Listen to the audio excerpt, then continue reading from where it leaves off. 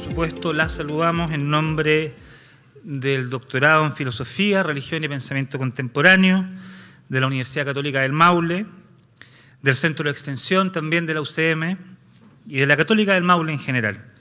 Les damos a todas y todos una calurosa bienvenida. Saludamos a nuestro rector, Claudio, señor Claudio Rojas, eh, al profesor Rafael Miranda, director del doctorado, a todas nuestras académicas y académicos presentes el día de hoy, a nuestros y nuestras estudiantes, que siempre es una alegría tenerlos y verlas y verlos en actividades como estas. Eh, no sé si está Mirna Troncoso. Mirna.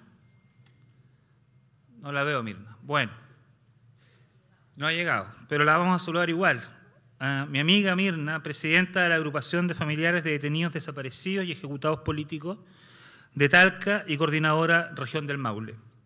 Amigas y amigos, muchas gracias por estar hoy con nosotros. Para comenzar este importante momento, nuestro rector Claudio Rojas nos dará unas palabras de bienvenida antes de escuchar a nuestro invitado de honor el día de hoy. Rector, por favor. Buenas tardes a todos y todas. Distinguido profesor, don Gabriel Salazar, qué bueno que usted haya aceptado esta invitación. Quiero felicitar también a, Javier y al, doctorado en pensamiento filosófico que, lo está organizando. A ver, eh, yo quiero agradecerle todo eh, vuestra asistencia Quiero congratularnos como universidad que estemos en una instancia como esta. Estaba pensando, estaba viniendo cuando me traían para acá, en el título de la propuesta, hace la, cinco años de la, revuelta de octubre, pensar la soberanía. Otros piensan que es un estallido social, hay, hay diferencias de, de apreciaciones, qué fue lo que ocurrió, pero lo que ocurrió hace cinco años evidentemente fue muy importante. Fue fue un cambio, un hito notable en, lo que ha ocurrido en nuestro país. También han seguido ocurriendo muchas cosas después. Han habido dos, dos intentos de reforma constitucional, ninguno de ellos que ha llegado a puerto, pero, lo, que no, lo, que, lo que probablemente todos podríamos pensar es que lo que estuvo presente en ese momento o en esos momentos de hace cinco años atrás sería muy difícil pensar de que eso no sigue presente. Gracias. Que hay un malestar o que hay situaciones que están ocurriendo dentro de nuestra sociedad y que, que, deben ser atendidas, que deben ser reflexionadas, sin duda que sí. Yo no quiero llegar aquí con mi tesis de lo que ahí ha ocurrido, personalmente me ha tocado. También, como todos ustedes y como todos nosotros, hemos reflexionado sobre eso. De lo que yo me quiero alegrar es de que, y lo que quiero plantear es que como universidad no podemos estar al margen de esas deliberaciones y de esas reflexiones. Eh, y por eso felicito a Javier y a toda su iniciativa por poder acoger este tipo de deliberaciones sobre lo que allí, con el rigor académico, con el rigor universitario, ese es nuestro aporte a lo que nosotros hacemos a la sociedad. Habrán diferentes posiciones de vista, diferentes puntos de vista, diferentes premisas. Bueno, y eso es lo que tenemos que recoger como universidad. Lo importante es que la deliberación y que la reflexión ocurra. Eh, los, los, ámbitos para poder ejecutar los cambios o para poder ejecutar son los ámbitos sociales, son los ámbitos políticos. Desde nuestro ámbito es poder reflexionar, poder deliberar sobre lo que está ocurriendo en nuestra sociedad. Y en ese sentido nos alegramos mucho eh, de, esta instancia de una persona y que nos venga a compartir su mirada, su reflexión, una persona tan calificada y con tanto reconocimiento como el profesor Gabriel Salazar. Así que bienvenido, profesor, y que sea una muy buena reflexión la que llevemos a cabo. Muchas gracias.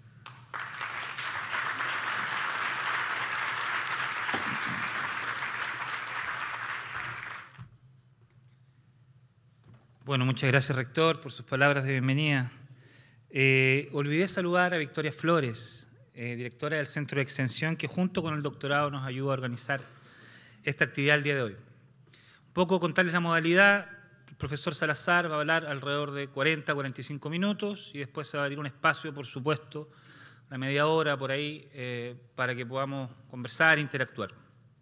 Quería leerles algo muy breve junto con presentar a, Gabriel Salazar, que resumir su trayectoria es imposible, pero bueno, se hizo el intento. Hace unos años atrás, el historiador Gabriel Salazar dijo, me dijo en un encuentro por Zoom, en momentos en que la pandemia revelaba su rostro más brutal, una frase que nunca olvidé. Dijo, las instituciones no saben morir. Con estas palabras pude entender cuestiones que, a propósito de la revuelta de octubre, en ese momento me eran todavía difusas. Pude entender, por ejemplo, que lo que es posible llamar ciudadanía, sociedad civil, pueblo o multitud, es lo que está de alguna manera en directa relación con la soberanía. Que la soberanía misma radica ahí, en la multitud que reuniendo diferentes subjetividades y lejos de toda deriva iconoclasta, fue capaz de codificar en las calles y en sus querellas todos los abusos de un tiempo y de una época.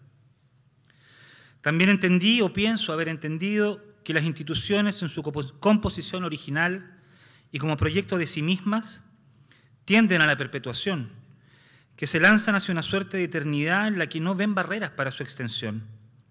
En un principio las instituciones son sin medida, sin tiempo.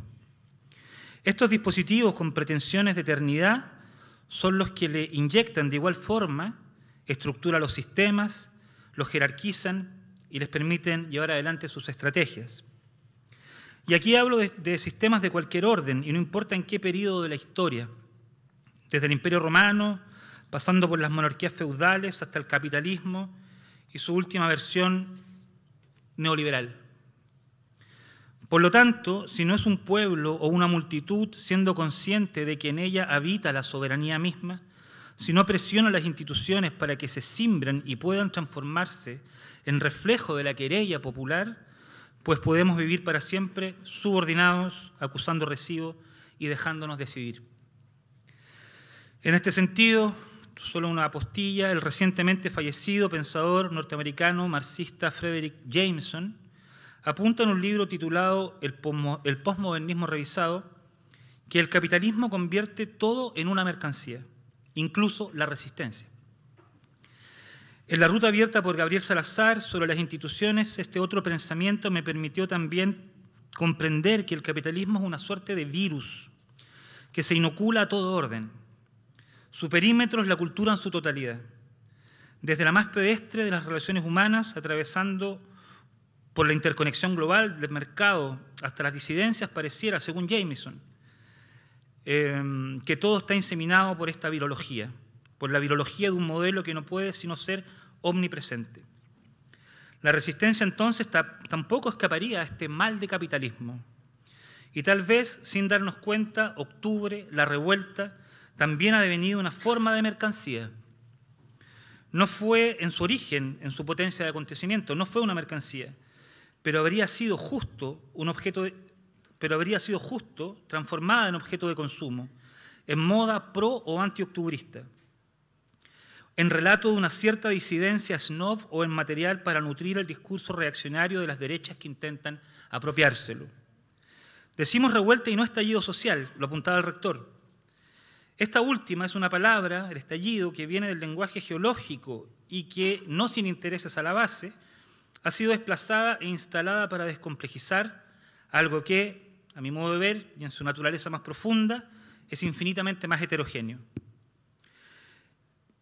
irreductible revuelto. Revuelta alude a un instante en el que la sociedad chilena, como nunca antes en su historia, fue capaz de tensionar a las instituciones folclóricas devenidas de la dictadura, la transición y los gobiernos de ahí en más, a partir de un sinnúmero de subjetividades desparramadas en las calles de todo un país, sin jurar lealtad a ningún emblema, símbolo o líder.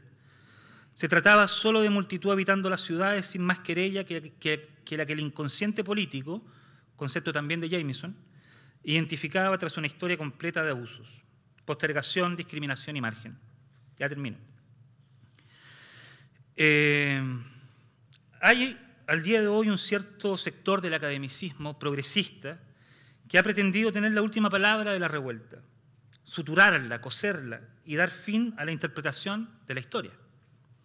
Frente a eso consideramos que habría que reaccionar porque nadie puede tener la última palabra de octubre. Esto no, esta no es propiedad de nadie más que de la historia misma y sus ecos y su pulso no resisten ser subalternos.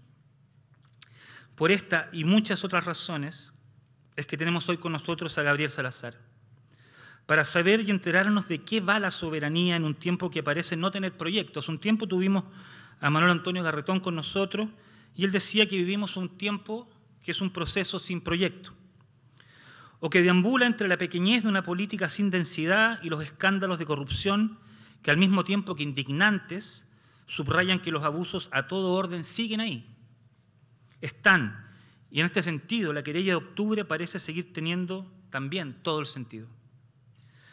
Con todo, Gabriel Salazar, uno de los pensadores más importantes de nuestra historia, no solo reciente, de toda la historia de Chile, es quien vio la historia misma desde otro modo, desde abajo hacia arriba.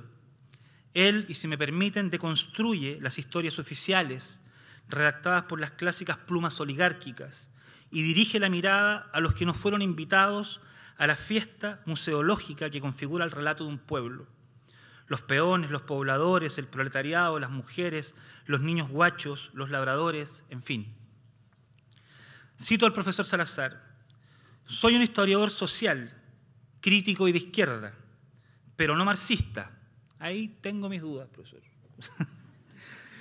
Focalizo el estudio de la historia en los sectores populares más marginados y no en las clases dirigentes, a diferencia de los historiadores tradicionales.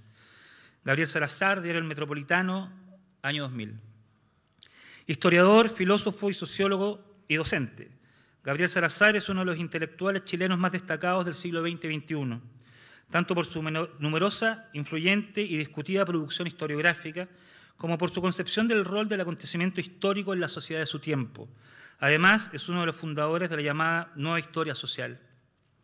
Entre 1956 y 1960 estudió Pedagogía en Historia y Geografía en la Universidad de Chile, donde además cursó las carreras de Filosofía entre el 59 y el 63 y Sociología entre el 66 y el 69. Allí fue ayudante de investigación del historiador Mario Góngora del Campo y asistente del profesor Héctor Herrera Cajas. Desde 1965 realizó clases en la Pontificia Universidad Católica de Chile y en 1968 reemplazó a Herrera en la Casa de Bello. Se desempeñaba como docente universitario cuando la candidatura presidencial de Salvador Allende lo obligó a, tomar un rumbo político más radical, ingresando entonces al movimiento de izquierda revolucionaria MIR, el golpe de Estado del 11 de septiembre de 1973, que puso fin al gobierno de la Unidad Popular, significó el término de su militancia, pero no de sus ideas. Dos años más tarde, en 1975, Salazar fue trasladado como preso político a los centros de detención de Villa Grimaldi y Tres Álamos. Allí impartió clandestinamente un curso de economía que años más tarde se transformó en el libro Historia de la Academia Capitalista en Chile, Apuntes de Clases, publicado en el 2003. Recuperada su libertad en 1976, Salazar fue obligado a vivir en el exilio en el Reino Unido, donde recibió una beca para perfeccionar sus estudios. Junto con otros historiadores como Leonardo León y Luis Ortega, fundó en 1981 la revista Nueva Historia, publicación que sirvió como tribuna para sus renovadas ideas.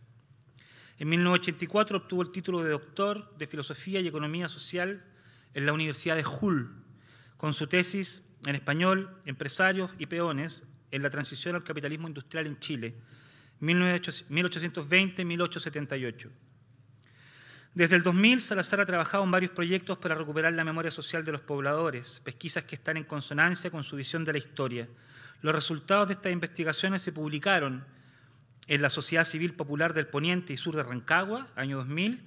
Tres años más tarde realizó un ejercicio similar que culminó con el libro Ferias Libres, Espacio Residual de la Soberanía Ciudadana. Otra de sus obras más destacadas son, ha publicado alrededor de 50 libros. Otra de sus obras más destacadas son La historia desde abajo y desde dentro, 2003, La violencia política popular en las grandes alamedas, La violencia en Chile 1947-1987, Una perspectiva histórico-popular, 2006, Ser niño guacho en la historia de Chile, siglo XIX, 2006, Memorias de un peón gañán, Memorias de Benito Salazar Orellana, 2008, y del poder constituyente de asalariados e intelectuales. Chile siglo XX y XXI, texto del 2009. En el 2006, los aportes de Gabriel Salazar a la historiografía nacional fueron reconocidos con la entrega del Premio Nacional de Historia. En 100 años, en 100 años más, en, en 200 años más, o en los años que sea, la historia de Chile no podrá ser comprendida en su totalidad sin la obra de Gabriel Salazar. Se leerá para siempre. Creemos que es un gran momento no solo para la Católica del Maule, sino para el Maule en general, para nuestra región que hoy debiera estar alegre por tener con nosotros a un pensador de la estatura de Gabriel Salazar, a quien, por supuesto, agradecemos profundamente su visita y su generosidad. Muchas gracias, profesor. Por favor.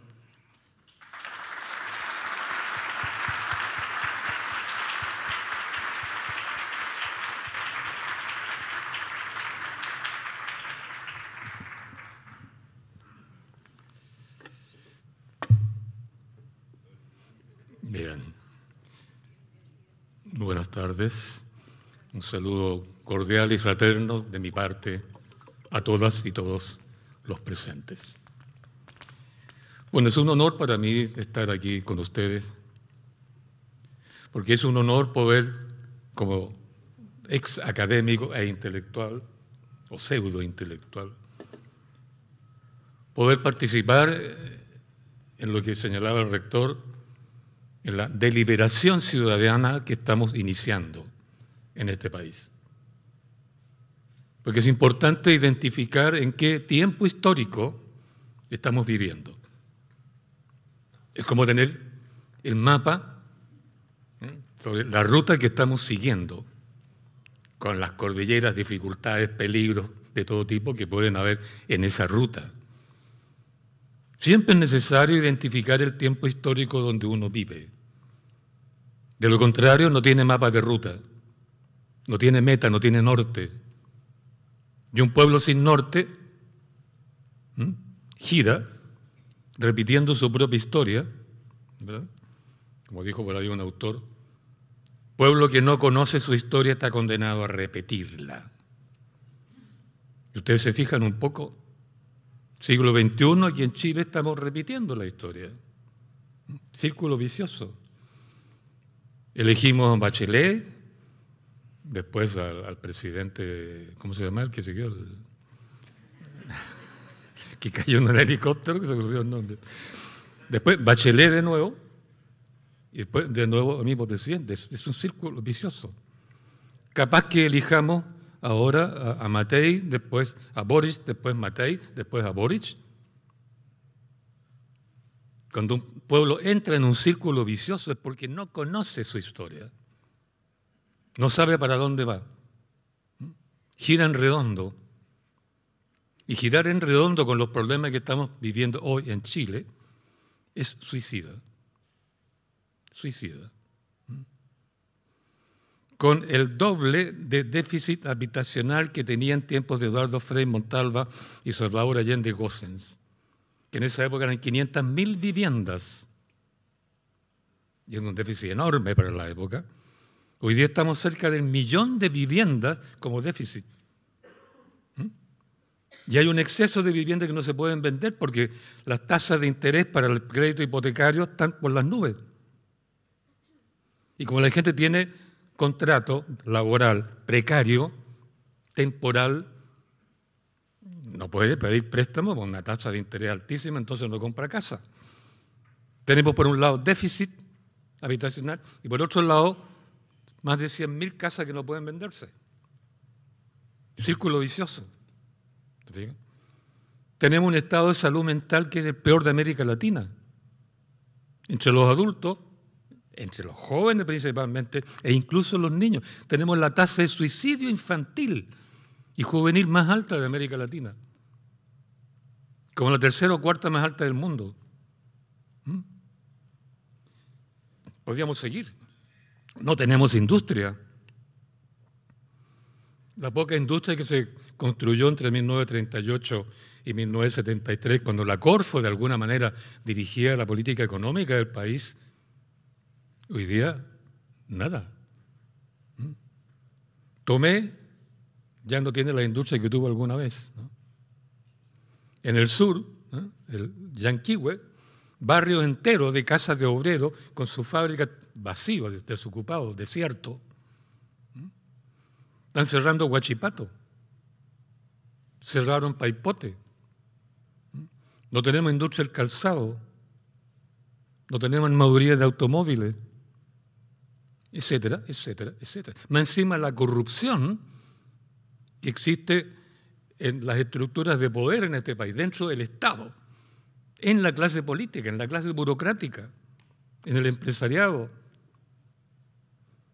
que es casi peor sumando los dineros robados que la peor época en que hubo corrupción estatal que fue entre 1900 y 1925-30. Cuando todos nos unimos para luchar contra la oligarquía corrupta, cuando el ejército dio un golpe de Estado que no se conoce muy bien, con el expreso fin, usando sus palabras, de extraer quirúrgicamente, dijeron ellos, la corrupción, la gangrena, la palabra que usaron, la gangrena política que había llenado el Estado chileno. Hoy día esa, gangrena es peor que la de los años 20. Estamos viviendo una fase terminal de un modelo económico, el neoliberal, que los propios grandes fundadores del modelo, defensores del modelo, están hoy día planteando que este es un modelo que en esencia es autodestructivo y se está se ha ido autodestruyendo hasta que ya hoy día todos están proclamando su crisis definitiva. Hay que leer a los grandes economistas y a los grandes pensadores neoliberales que fundaron el modelo, lo implantaron por la violencia en Chile y que hoy día se dan cuenta que fue un error. Cito nada más que a uno de ellos, Francis Fukuyama. El mismo que el año 1985-86, por ahí, proclamó en un artículo que se hizo famoso en el mundo, se acabó la historia. ¿Mm? Ya no habrá más conflicto, el mundo está globalizado en torno al modelo neoliberal, en torno al mercado libre, no habrá más ya ni comunismo ni nada, vamos a vivir una paz completa y como no hay conflicto, no hay historia. Francis Fukuyama, 1985. ¿Mm? Fue cuando en el mundo se generó la revolución que los técnicos, los intelectuales sofisticados, llamaron el structural adjustment, el ajuste estructural, que el mundo comenzó a globalizarse dentro de la paz que proclamaba Francis Fukuyama, la paz neoliberal del mercado libre. Pues bien, Fukuyama el año pasado, diciembre, escribió un artículo que se publicó en el diario Financial Times de, Inglaterra, que un diario del capitalismo financiero mundial, y señaló que el, el modelo neoliberal e, era y es en esencia autodestructivo, que ha caminado solo a su autodestrucción, que ya está pasando a, la historia, como quien dice, y hay que mirarlo atrás como que ya se hubiera superado lo escribió Fukuyama. Como que escribió su famoso artículo del 85 cuando el modelo neoliberal, se estaba instalando en el mundo. Y ahora está en el ciclo final y proclama su fin, su fase final. Y cuando los modelos sistémicos, los modelos de dominación, entran en la fase final, su agonía es muy larga, es elástica. Conversábamos recién con el profesor Javier de que los modelos de dominación no saben morir, no quieren morir. Se las arreglan para estar agónicos, pero sin morir. Por eso concluíamos, en cierta época estudiando estas cosas, los modelos de dominación como no saben morir ni quieren morir, y son capaces de no morir, hay que matarlos. Hay que matarlos. ¿Quién puede matar un modelo de dominación? Como el capitalismo que se ha globalizado. ¿Un partido político? No. Una vanguardia que se autoproclama vanguardia del pueblo. Se ha demostrado que tampoco. ¿Quién tiene el tamaño de poder ¿Quién tiene la soberanía, que es el poder máximo que puede haber en la historia y en el mundo, para desarmar un modelo y matarlo, un buen morir? O un mal morir, si se. Solo quien tiene la soberanía. Que es el poder máximo humano que puede haber en la historia. ¿Y quién tiene la soberanía? El pueblo en tanto que pueblo. El pueblo en tanto que voluntad colectiva, no voluntad individual. La voluntad individual no implica soberanía. En la práctica, ¿cómo ha sido la voluntad individual en la historia de Chile? En nuestra historia del siglo XX, para no ir tan lejos. Derecho a petición, toda la clase trabajadora organizada para pedir. ¿Mm? Protesta en la calle para pedir, pero como no nos dan, entonces protestamos. Protesta en la calle. ¿Mm? La voluntad individual no es soberanía, vuelvo a decirlo. Podrá ser libertad individual, pero la libertad individual o el libre albedrío, como dirían los filósofos y los teólogos, es una cuestión personal con uno mismo. ¿Cómo me autoconstruyo como una identidad que me satisfaga en términos psicofísicos, biológicos? Pero no es, es un problema mío, conmigo mismo. Y con respeto a lo que encuentre yo en mi entorno, como decía Heidegger. Eh, los otros. Como decía Heidegger, ya que están los filósofos aquí presentes, que son los que me han invitado, eh, como decía Heidegger, yo nací dentro de mí sin haberlo pedido. Me encontré dentro de mí, me tiraron aquí, me arrojaron aquí. Y abro los ojos y me encuentro que, así como yo, no estoy solo, hay millones de otros iguales. ¿Qué hago con ellos? Yo no pedí, ser, yo no pedí estar aquí dentro de mí siendo individuo. No sé quién me tiró aquí. Y si abro los ojos encuentro que hay millones iguales a mí. ¿Qué hago con ellos? ¿Qué hago con ellos? Si además soy incompleto, yo mismo tengo que trabajar para construir el resto de mi vida. Trabajo, lucho, peleo, ¿verdad? Yo soy, estoy a cargo de mi existencia de aquí en adelante, hasta que muera. Como individuo no soy nada.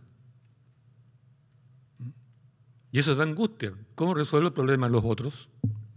O me estorban a mi proyecto individual y compito con ellos, que es lo que planteo el neoliberalismo, competencia para que mi vida individual se sobreponga a los otros y le gane, le gane.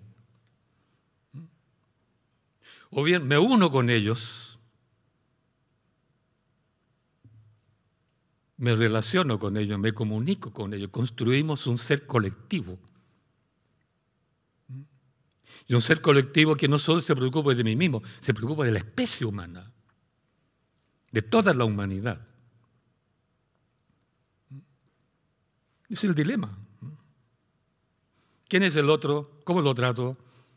¿Compito con él? ¿Es mi enemigo, como dijo Jean-Paul Sartre? Eh, para mí los otros son el infierno, dijo en un libro por ahí este maestro. Es un gran dilema. Y está claro que toda la historia muestra que cuando nos unimos como seres humanos, cuando aparece lo, que decía eh, este gran filósofo yankee que se me olvidó el nombre ahora, con los años uno se le olvidan los nombres, están ahí, ¿eh? podría decir todo el discurso que él dijo, pero se me olvida el nombre. O puede ser recuerdo de vez de Villa Grimaldi, ¿no? Te preguntan un nombre y tienes que negarlo. Te desarrolla un mecanismo de tirar el nombre hacia adentro. como quiera que sea, eh, ese maestro que se me olvidó el nombre escribió un libro que, cuya idea central era que lo esencial es que yo me haga disponible a los otros. La disponibilidad de mi vida y mi ser hacia el otro. Y si el otro hace lo mismo, nos unimos. Y si nos unimos, armamos una comunidad de seres humanos que deliberamos entre nosotros para resolver los problemas del otro, de la naturaleza, de la supervivencia, del trabajo y la voluntad colectiva para dirigir nuestro destino como especie humana, como especie viva, eso es soberanía. La soberanía es un problema de la especie, no del individuo. Todas las especies vivas existentes, animales y de otras, su ley natural esencial es sobrevivir como especie y se aseguran que la reproducción de la especie es un instinto poderosísimo. Y la reproducción se hace entre todos. ese problema de la soberanía es, un problema que no se ha estudiado en Chile, nadie habla de soberanía. Nadie. Yo me he dado el trabajo de estudiar, como estudié tres carreras, entonces cuando se plantea el tema de la soberanía popular, me dediqué a estudiar por la línea filosófica, la sociológica, la económica, la histórica, por todas partes, y por ninguna parte encontré nada. O referencia así puramente lingüística, el nombre, punto.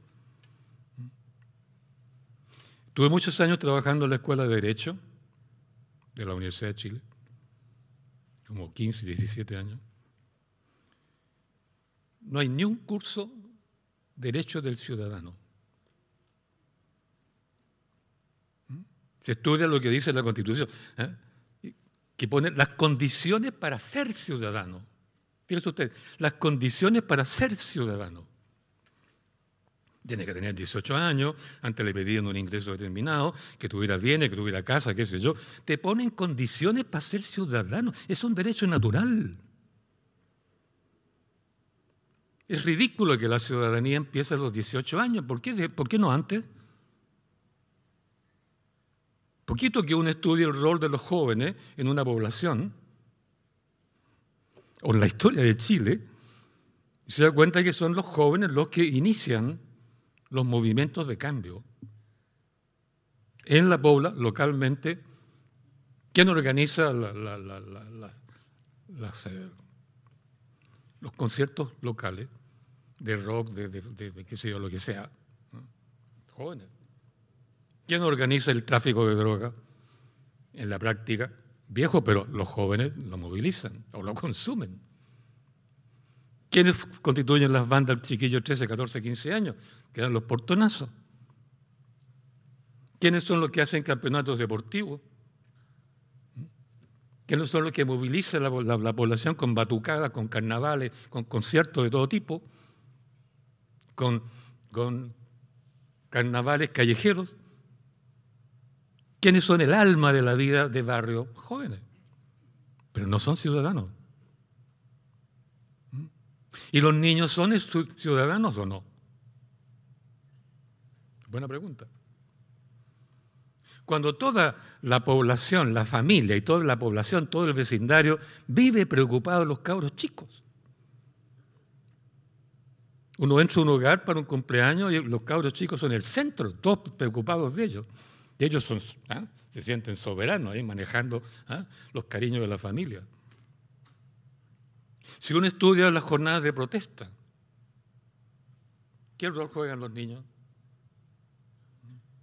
Yo estudié en detalle lo que ocurrió en los años 2013-2014 con las llamadas asambleas comunales.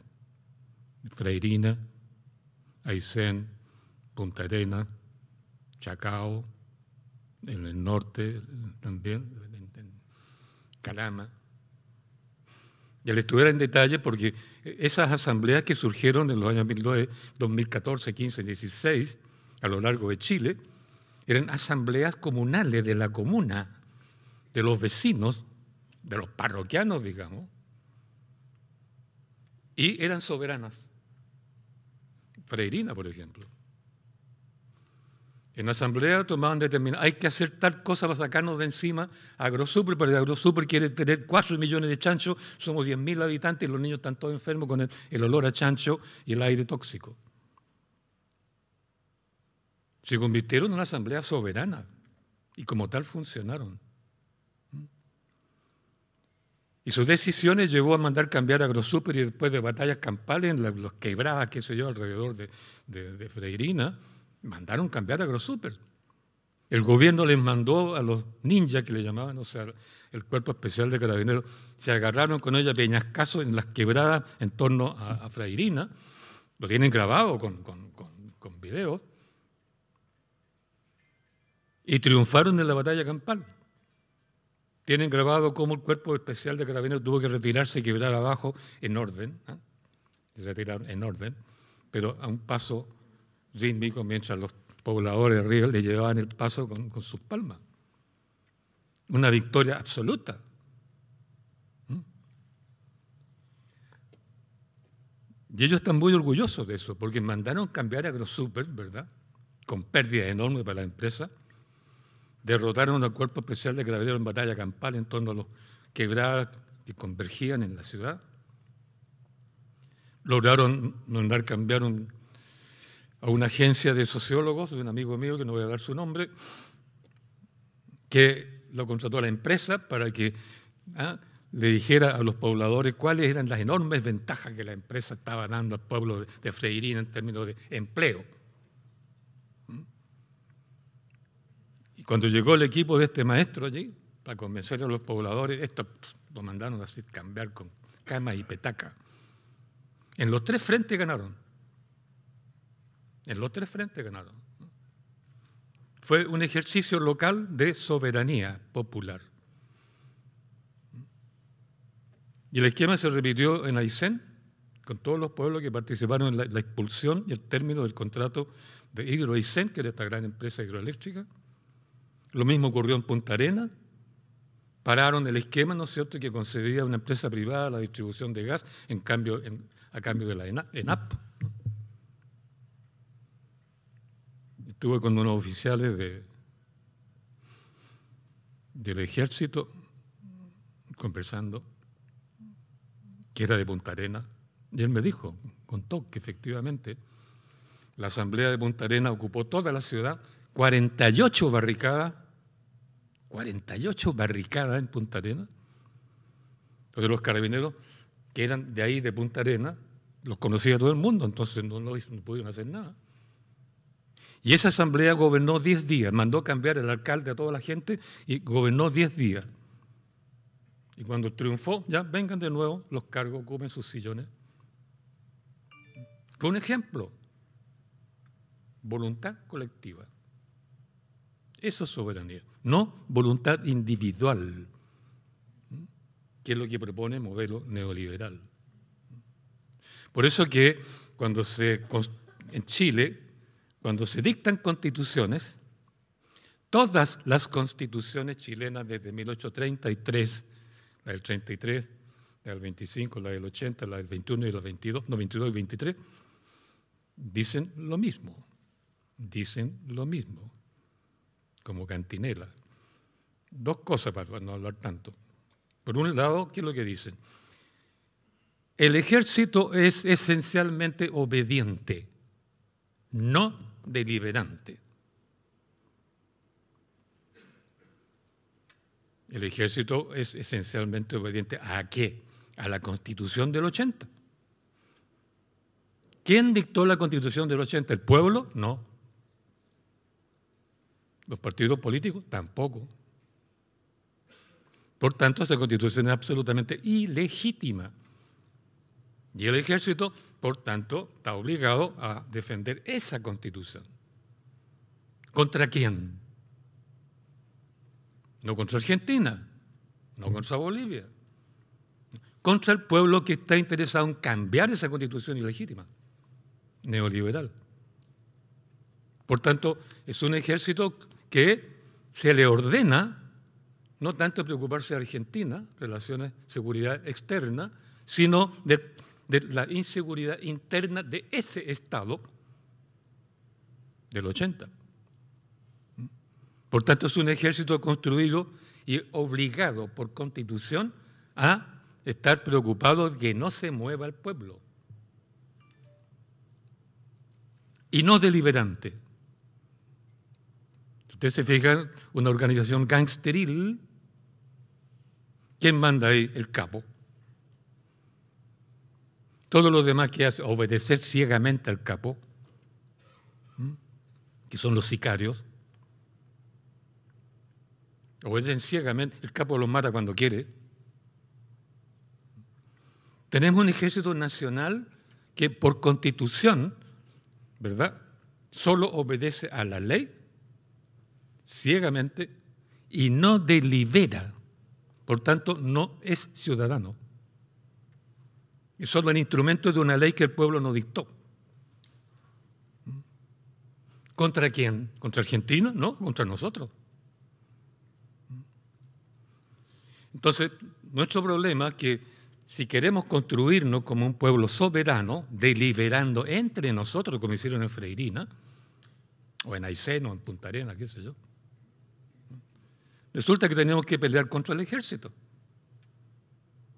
Contra el ejército. Y el ejército tiene siempre una ventaja mayor. Nosotros podemos tener todas las razones del mundo, pero el ejército tiene mayor poder de fuego. Y contra el mayor poder de fuego no hay nada que hacer. No hay razón que valga. Por eso es que desde el siglo XIX, porque todas las constituciones chilenas, menos una,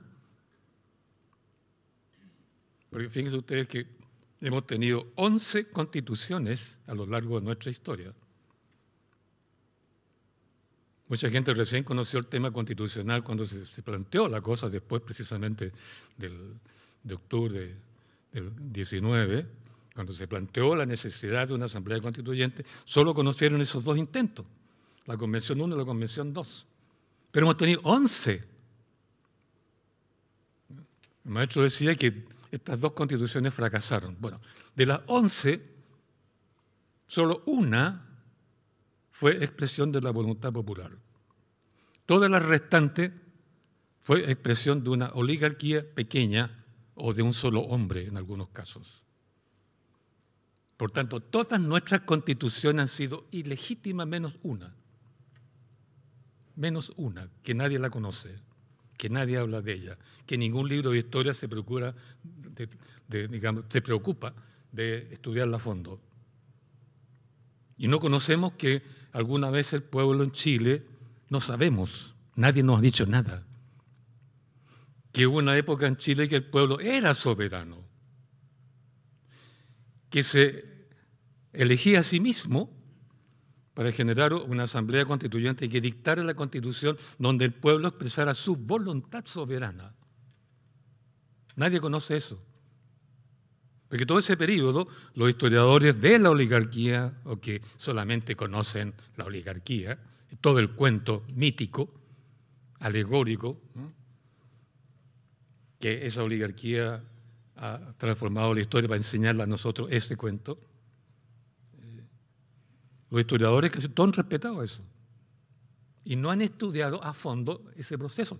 Nosotros lo hicimos justamente porque andamos buscando detrás la, soberanía popular. ¿Qué descubrimos?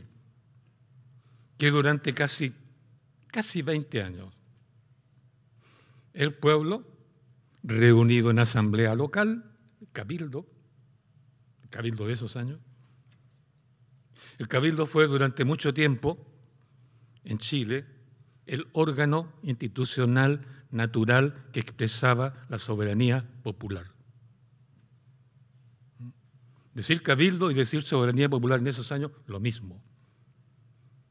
Fíjense que, ¿quién proclamó la independencia en Chile? Los cabildos. Fue expresión de la soberanía popular. Pero eso no se dice. Las primeras asambleas constituyentes fue expresión de la voluntad popular. Y el, ejército de esos años, que tampoco se ha dicho nada, el ejército que peleó, el ejército patriota, que ganó la independencia, ganó las batallas de la independencia. Al mismo tiempo ese ejército, y esto nunca se ha dicho, ese ejército era democrático creía que el pueblo era el soberano, que la soberanía radicaba en el pueblo, no en el rey. Por eso proclamaron la independencia. porque así había que hacer valer la soberanía popular que se expresaba en los pueblos vivos, porque la soberanía como es voluntad colectiva y no individual, necesita para existir que estemos reunidos en una comunidad. ¿Mm? No hay soberanía popular, por tanto, sin comunidad. Por eso el voto individual no es soberanía. Y siempre más encima, el voto individual, ustedes se fijan, tiene un apellido, secreto. Secreto. ¿Qué significa que el voto individual que, que dicen que es el voto democrático? Eso significa que vamos a votar amordazado. No puede hablar. No nos comunicamos para votar. No deliberamos entre todos para votar. Decir voto secreto es decir, usted vaya a votar amordazado. Y uno entra en una cámara oscura, porque es una cámara oscura, no tiene ni siquiera luz, para hacer una rayita. Y esa rayita al día siguiente es un número. No es un mandato con nombre y apellido, como el mandato que hicieron en Freirina a los propios habitantes para actuar contra el gobierno, contra los carabineros, contra esta compañía de amigos sociólogos. Las democracias que dicen basarse en el voto individual no son democracias soberanas. Ese es un chiste. Es un invento del capitalismo justamente individual, de los imperios absolutistas liberales como Inglaterra, en el siglo XIX, Estados Unidos en el siglo XX, y la OTAN ahora, siglo XXI, que claro, por eso el, ejército no delibera. Tanto no puede ser soberano ni puede participar de la soberanía popular. Porque para ser soberano hay que deliberar. ¿Cómo se construye la voluntad colectiva? Deliberando. Lo que decía el doctor. Sin deliberación no hay construcción de voluntad colectiva. Es más, la deliberación ciudadana que garantiza que pueda construir una voluntad colectiva, la deliberación ciudadana, para ser soberana, tiene que ser una ciencia. Porque hay que deliberar con metodología, con orden, con sentido científico, para llegar a acuerdos válidos, practicables, que hagan en la realidad, conviertan en realidad nuestra voluntad, nuestro mandato. Tiene que ser un mandato sabio. Y la sabiduría se alcanza no solo estudiando libros en una biblioteca, o escribiendo libros, ¿verdad?, en un escritorio solito con una lámpara en la noche. La voluntad colectiva se, constituye en un grupo humano que convive, por eso es la comuna, y delibera sobre los problemas de la comuna, y se lo hace científicamente, puede llegar a construir mandatos sabios que realmente resuelvan los problemas. Por eso conversamos también con Javier hace un rato, o ayer más bien. El pueblo tiene una ciencia propia. Es una ciencia oral, dialógica, diálogo, conversación, discusión, deliberación. Esa es la verdadera dialéctica. La dialéctica no es una ciencia de escritorio, ni de laboratorio, ni de universidad. Es la ciencia que el pueblo construye con su propio saber, con su propia conversación, su propia deliberación. Son decisiones avaladas en el saber colectivo, avaladas en la inteligencia colectiva, pero siempre y cuando dialoguen juntos. Por eso es que el pueblo solo puede ser soberano cuando un pueblo está constituido como una asamblea comunal. Porque solo allí, como en Freirina, donde todos se conocen, ¿eh? conocen sus cabros chicos, se conocen los papás, los apoderados, los profesores, hasta los policías, todos se conocen. Si deliberan todos juntos, ¿Lo permite su vecindad? ¿Lo permite vivir en la misma ciudad? Son ciudadanos en su misma ciudad. Y si deliberan seriamente, científicamente, ordenadamente, sin tratar de lucirse con la palabra cada cual para demostrar que soy machoro, no, no. Se consigue llegar a un mandato serio, científico, tal como lo lograron Freirina, Aysén, Punta Arena, que triunfaron. Triunfaron. Por eso el tiempo actual, la historia actual, la que estamos viviendo, ¿a qué nos manda?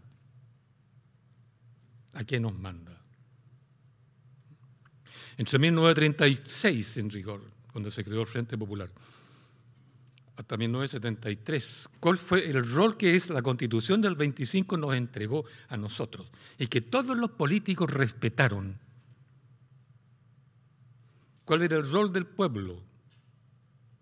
Votar individualmente en una Cámara secreta y secretamente, amordazado, convirtiendo nuestra voluntad en un número que otros sumaban, otros interpretaban, no, no uno. Un pueblo con derecho a petición, no petición a partir de una asamblea popular, no petición individual al Estado, petición. Tal como extender la mano pidiendo una limosna.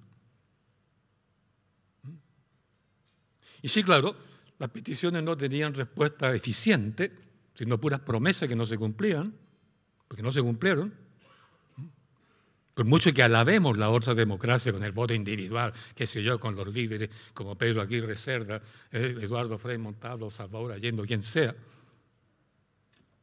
el hecho concreto que pese a la democracia electoral individualista, al voto individual, a la petición, etcétera, no se resolvieron los problemas de nada. No nos desarrollamos, no fuimos un país capitalista desarrollado, Tampoco construimos socialismo, socialismo social, social, no socialismo de Estado. No se socialismo para partidos políticos en el Parlamento. No se logró. No se logró. ¿Mm? Y por otro lado, claro, la historia del ejército hay que contarla enteramente de nuevo. El rol del ejército con respecto a este problema. ¿Quién dicta ¿Quién dicta la constitución que realmente el pueblo quiere, espera y necesita? ¿Quién la dicta? ¿Los políticos? ¿Los milicos? Y si lo tiene que hacer el pueblo, ¿quién ayuda al pueblo a, que lo logre? ¿Cuál es el rol ahí del ejército? Nosotros nos han enseñado dos mitos, no tan mitos, pero al final operan como mitos respecto al ejército. O el ejército glorioso que ganó la independencia, la batalla de, de, Yungay, qué sé yo, Chorrillos, Miraflores, bla, bla, bla. Las glorias del ejército que celebramos ah, mecánicamente todos los 19 de septiembre. Y corresponde emocionarse cuando ah, desfilan con, el paso de ganso. Ese ejército, ese mito, el ejército glorioso que celebra su, su, gloria, sus laureles, el 19. O el ejército real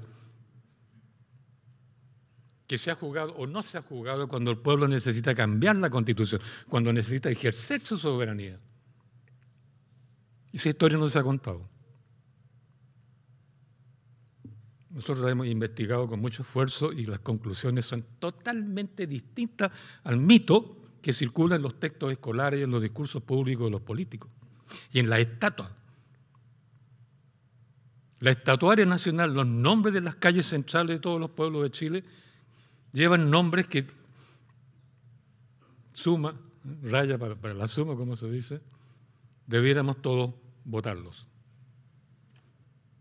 Incluso una estatua que ve por ahí de un señor firmando la independencia de Chile, que pasa por ¿ah? que oficia como el gran héroe de la historia de Chile.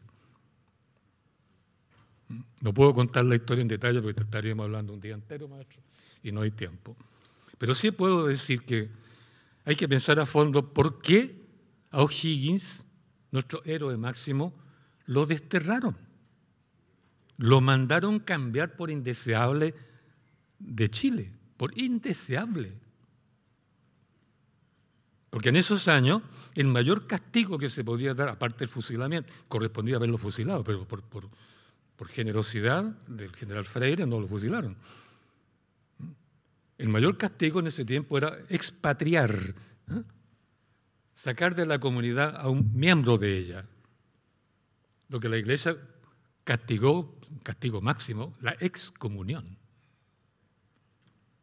Cuando habían comunidades, el mayor castigo para una persona era expulsarlo de la comunidad y mandarlo al mundo a ser un individuo aislado. Pobre, sin identidad social, sin papá, sin mamá, sin condición ciudadana. Hay que preguntar, ¿por qué a O'Higgins lo mandaron, le aplicaron el mayor castigo que se podía dar en la época, la expatriación? ¿Quién lo expulsó? Nadie, se preocupa de responder esa pregunta. Y la respuesta es, porque yo lo investigué con lujo de detalle, publicamos un libro por ahí que tiene todos los datos necesarios. Porque O'Higgins no reconoció la soberanía de los pueblos, la soberanía de los cabildos de pueblo, porque se rió de la soberanía de los pueblos de la gran provincia, en ese tiempo eran tres provincias, de Concepción, se rió de la soberanía de todos los pueblos que componían en ese tiempo la provincia de Coquimbo. No solo se rió, la engañó. Las engañó. Y los pueblos heridos ¿eh? en su epidermis soberana se reunieron, lo juzgaron a este señor O'Higgins y unánimemente todos acordaron lo mismo expulsión. Pero que en rigor la traición a la soberanía es el peor crimen que se puede cometer en un ambiente comunitario. La traición a la soberanía, la traición a todo un pueblo, correspondía a fusilamiento. O'Higgins debió ser fusilado. Porque los pueblos lo rechazaron unánimemente.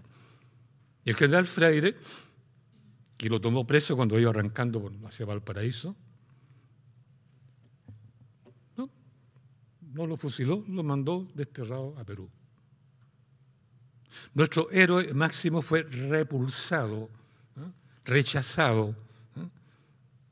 como alguien indeseable por los pueblos soberanos de Chile. Y es nuestro héroe máximo. Un señor que no ganó ninguna batalla. Estudien la historia de O'Higgins. Como gran cosa, ¿verdad? Se celebra la derrota de, Rancagua, la derrota de Rancagua. Tuvo hace poco en Rancagua, bueno, hicieron toda una operación gigantesca, reprodujeron la batalla con gente uniformada, qué sé yo, rindiéndole homenaje a O'Higgins, que eligió defender la ciudad en una plaza con cuatro calles que le llegaban a, la espalda necesariamente. Era la peor eh, decisión militar posible. Antes, O'Higgins no estudió para militar, que llegó a general porque convirtió a sus inquilinos del fondo que tenía en miliciano y los armó. Y claro, entraron a, la pelea por la independencia. Pero no era militar de carrera como, San Martín. Rancagua es expresión de su incapacidad militar. ¿Quién lo sacó de Rancagua? ¿Él mismo? No, la caballería de Ramón Freire. Lo metió al medio y la caballería irrumpió, rompió las líneas y salvó a O'Higgins. Y sin embargo, seguimos sacándole el sombrero al perdedor. Nos gusta heroificar a los perdedores. Heroificamos a Arturo Prat y olvidamos a Carlos Condel. La plata lo hundieron. Carlos Condel, con un barquito, hundió el mayor acorazado que tenía, aparte del Huáscar, a Perú, con pura inteligencia del comandante Condel. Y sin embargo, nadie celebra un triunfo de ese porte. ¿Por qué? ¿Por qué celebrar la pérdida? ¿Por qué celebrar las derrotas? ¿Por qué heroificar ah, gloriosamente las derrotas? ¿No será que nos interesa que el pueblo se acostumbre justamente a vivir celebrando sus derrotas? que lo educamos para eso desde cabrito, ¿verdad? Con los silabarios para arriba, con la historia que les cuentan de los cabros chicos. ¿Mm? Bueno, lo que quiero decir en definitiva, que el pueblo ciudadano, hay que usar la doble expresión. Si ustedes usan solamente pueblo, eso suena a gente pobre. Ese suena a pueblo que, ¿verdad?, tiene poco, ¿eh? está necesitado, no tiene casa, no tiene ropa, qué sé yo, etcétera, no tiene plata. Y por otro lado, eh, es víctima. El pueblo al que le violan los derechos humanos y le quitan la soberanía cada rato. Entonces, vean, el pueblo es víctima. La palabra pueblo conlleva ese tipo de adjetivos. Pero si usted le agrega pueblo ciudadano, el ciudadano en cambio no se caracteriza porque no tiene se caracteriza porque tiene. ¿Qué es lo que tiene? Soberanía. Otra cosa es que no lo haya construido, que no haya construido la soberanía como un poder efectivo. La soberanía, ustedes saben, es un poder natural, inherente a la condición de un ser humano que vive en sociedad, que vive en ciudad, que es ciudadano. Por eso, si hablamos solo de pueblo, ah, la víctima, qué sé yo, y seguimos tratando al pueblo como víctima, pero no, si le agregamos ciudadano, es que este ciudadano tiene poder y tener poder soberano depende de él. Nadie le va a dar su condición, nadie nos ha dado nunca la condición de soberanía. Por eso las 11 constituciones menos una, todas el pueblo no delibera y para que no delibere, no le damos instituciones para que delibere. Por eso no tenemos asamblea comunal popular. Por eso ya no hay cabildos. Por eso ya no hay asambleas provinciales, como hubo antes de 1833. ¿Mm? Desde Diego Portales en adelante mm, se acabaron los cabildos. Y se demoraron 40 años en reemplazar el cabildo por un municipio. Y el municipio, ustedes saben, ¿el municipio es parte del Estado o no? ¿Qué poder representa? Ninguno. El municipio es el pariente pobre del Estado, no tiene definición de Estado. El Estado es el poder ejecutivo, presidente legislativo, parlamento judicial, punto. ¿Y el municipio qué es? Antes del año 33, el municipio era el cabildo y ahí estaba la soberanía. Lo suprimieron y dejaron el municipio que es una cáscara administrativa, no es depositario de poder popular. Una de las cosas lindas de la Convención 1 y del texto constitucional que, propuso la Convención 1 del año 22, léanlo de nuevo. Que para mí eh, la Convención 1 como permitía que el 50% más o menos de los electos para esa convención podían ser independientes, o sea, no miembros de partido político. Esa convención tuvo como, al final como 51, 52, 53% de mayoría, no era, no era los dos tercios, pero sí mayoría de pingüinos. O sea, los estudiantes secundarios que pelearon en las calles entre el 2001 y el 2010 y después los universitarios 2010 al 2015. El actual gobierno es un gobierno pingüino. ¿Mm? De gusto no, pero son ex pingüinos. Y como tal hay que juzgarlos. Juzgarlos. ¿Mm? No condenarlos de por sí, pero sí juzgarlos. Porque una de las cosas que hacían los pueblos cuando eran soberanos era juzgar a sus supuestos representantes. En ese tiempo existía Perdón estos detalles históricos, pero yo creo que son importantísimos darlo a conocer.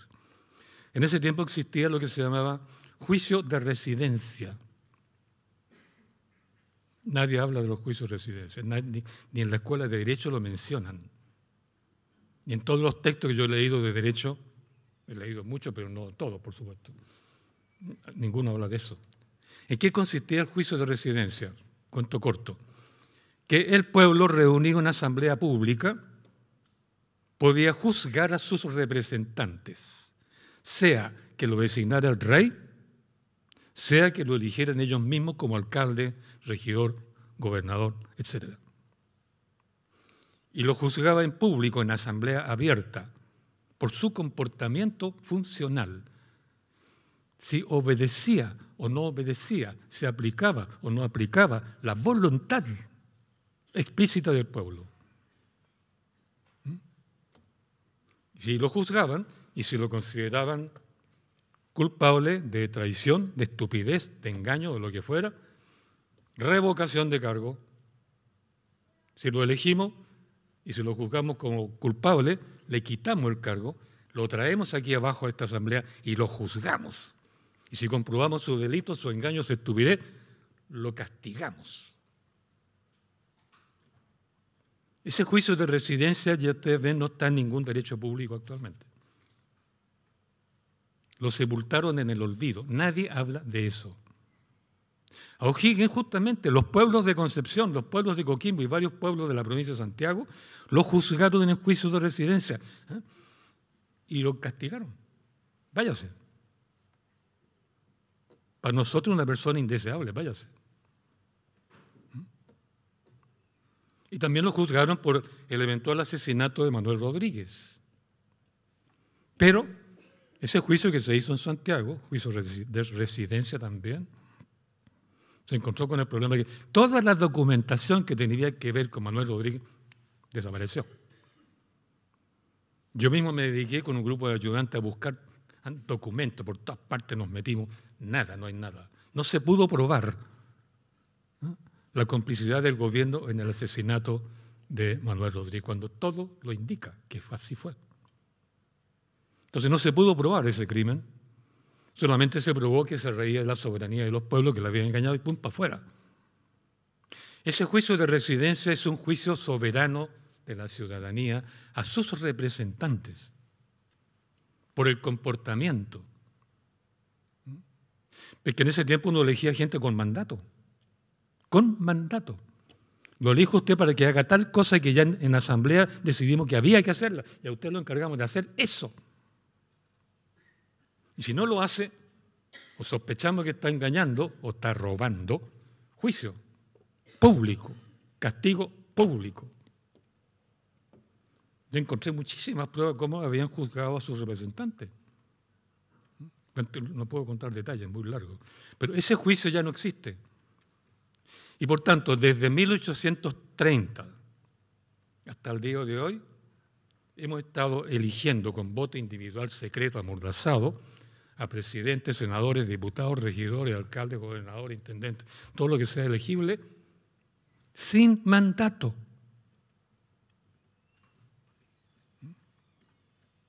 Como si yo le dijera a mi amigo Javier aquí, oye, me, das confianza, ¿no? Te, voy a permitir que administre todos mis bienes, que son, no son muchos, pero bueno, administralos tú y haz lo que quieras.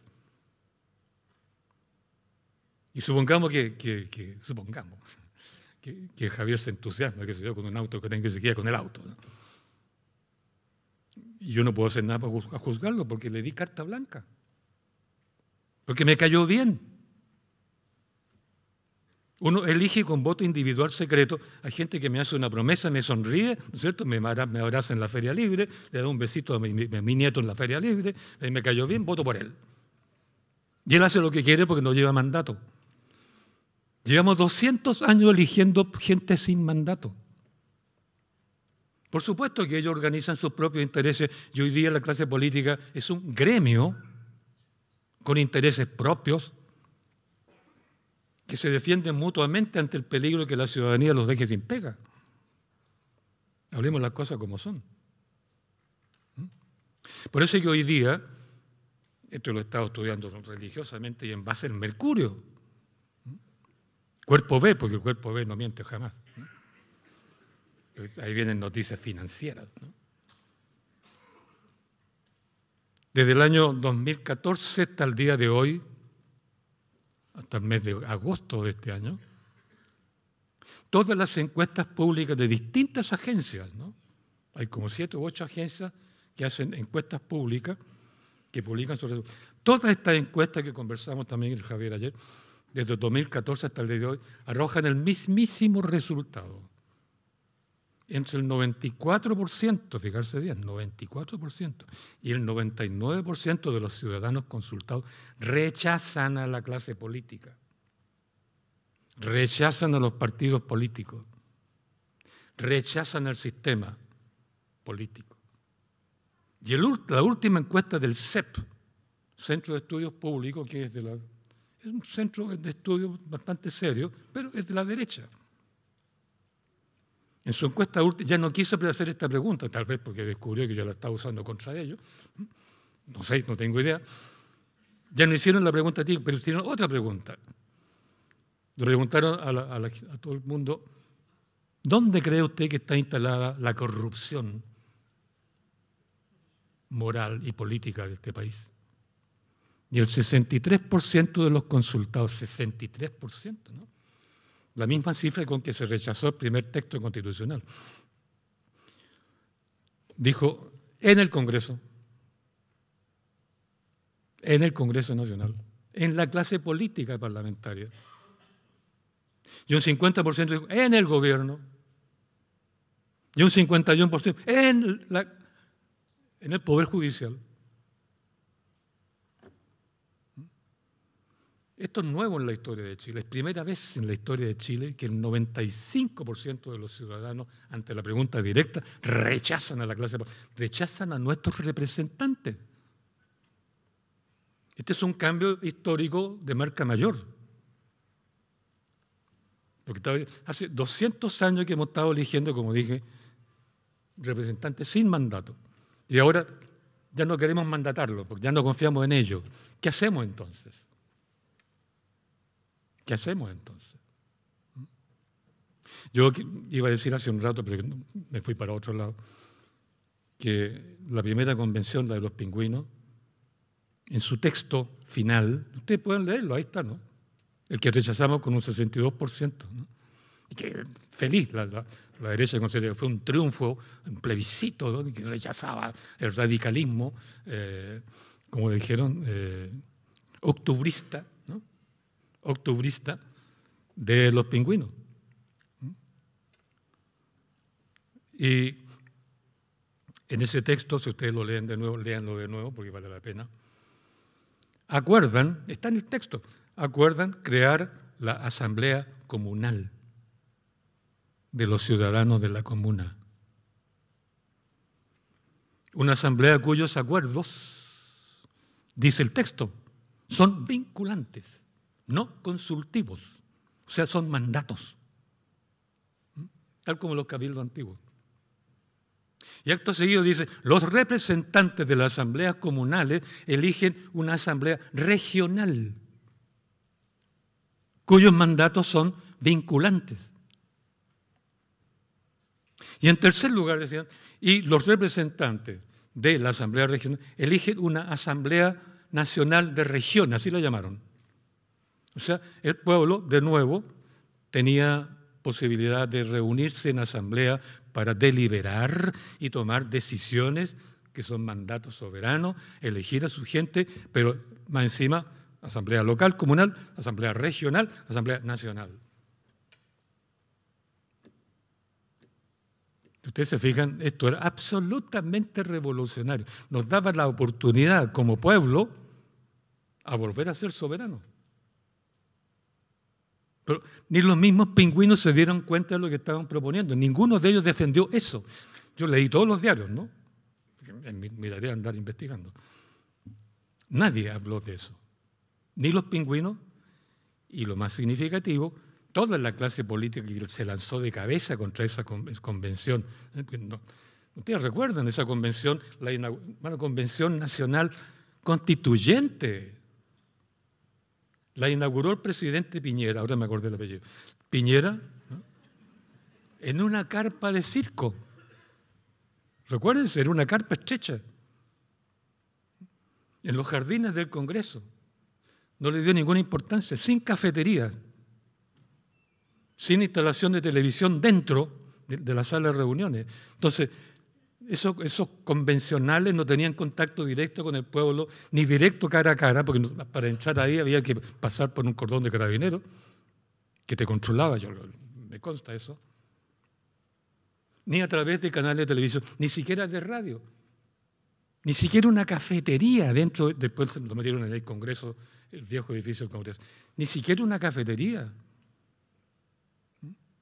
Entonces, claro, los acuerdos, ese acuerdo que es fundamental, eso solo valía una constitución. Eso era en sí una revolución. Pero ni ellos se dieron cuenta, no le, dieron, no le hicieron propaganda, ni la derecha ni los empresarios permitieron que la discusión interna de la convención se supiera día a día en los lugares donde estaba el pueblo. Hubo incomunicación. Por eso los grandes medios de comunicación no reflejaron lo que estaba ocurriendo dentro, en lo profundo de la, de la convención. Reflejaron la crítica de los empresarios y de la derecha y de todos los políticos a la convención. El mismo Mercurio, y yo siempre leo Mercurio, estoy suscrito a él, no significa que sea su seguidor. El mismo Mercurio, en un reportaje hecho por un equipo que ellos llaman el polígrafo, de estudioso de la realidad, como cuatro o cinco meses después saca un artículo que lo tengo copiado ahí, que dice que en ese periodo, cuando funcionó la primera convención, es cuando la prensa escrita utilizó en mayor escala lo que llamaban las fake news, es decir, las mentiras públicas. Y dio números. Las fake news iban en una, curva así, ahí sube y después baja. Justamente en el periodo de la primera convención. por eso, por favor, lean de nuevo lo que dice la convención respecto a las asambleas locales. Era sin duda un, acuerdo revolucionario por donde se mirara. Era devolvernos la soberanía, reinstalar la deliberación organizada dialéctica en el pueblo. Era olvidar, de alguna manera, el voto individual secreto amordazado. Era reabrir la posibilidad de una voluntad soberana, deliberada, para hacer valer su mandato. Pero ni ellos le dieron importancia, estaban más interesados, que si yo, la, cosa del, del,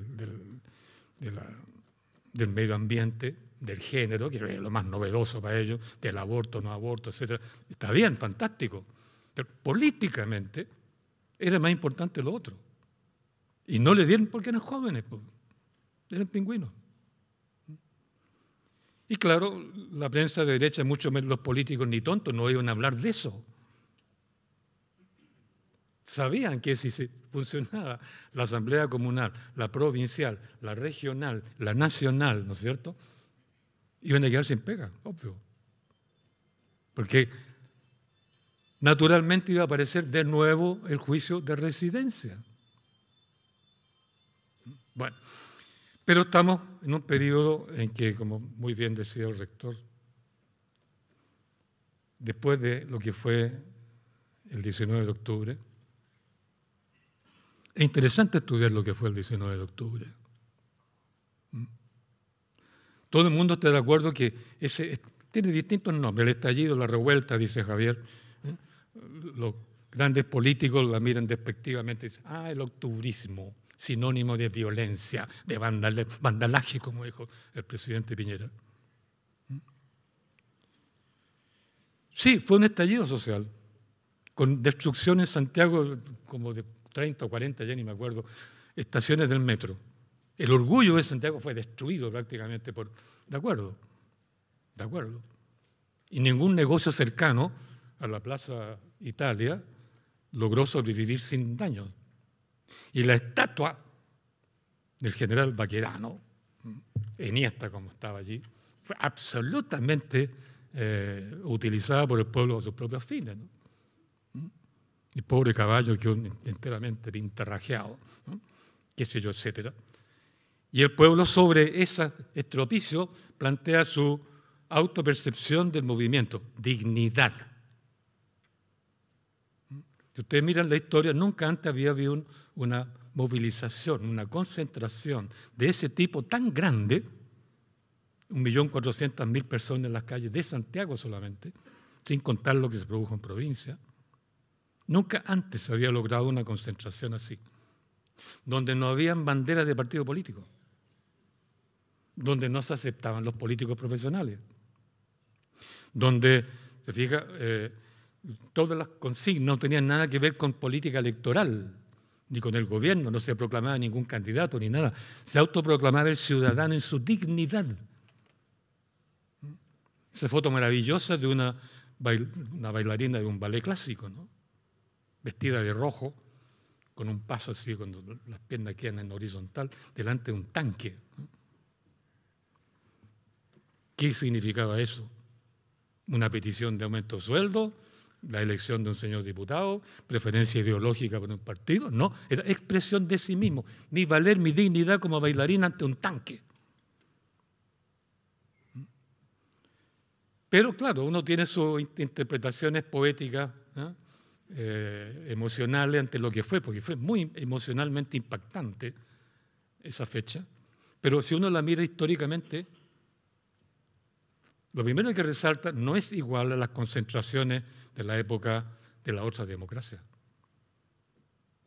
Esas concentraciones de masas, por ejemplo, en la elección de 1970, Radomiro Tomic en Santiago llevó 800.000 personas, llenó las calles. 800.000 personas. Jorge Alessandro Rodríguez llevó un millón, un poquito más de un millón de personas. Allende llevó a la calle un millón doscientas mil personas.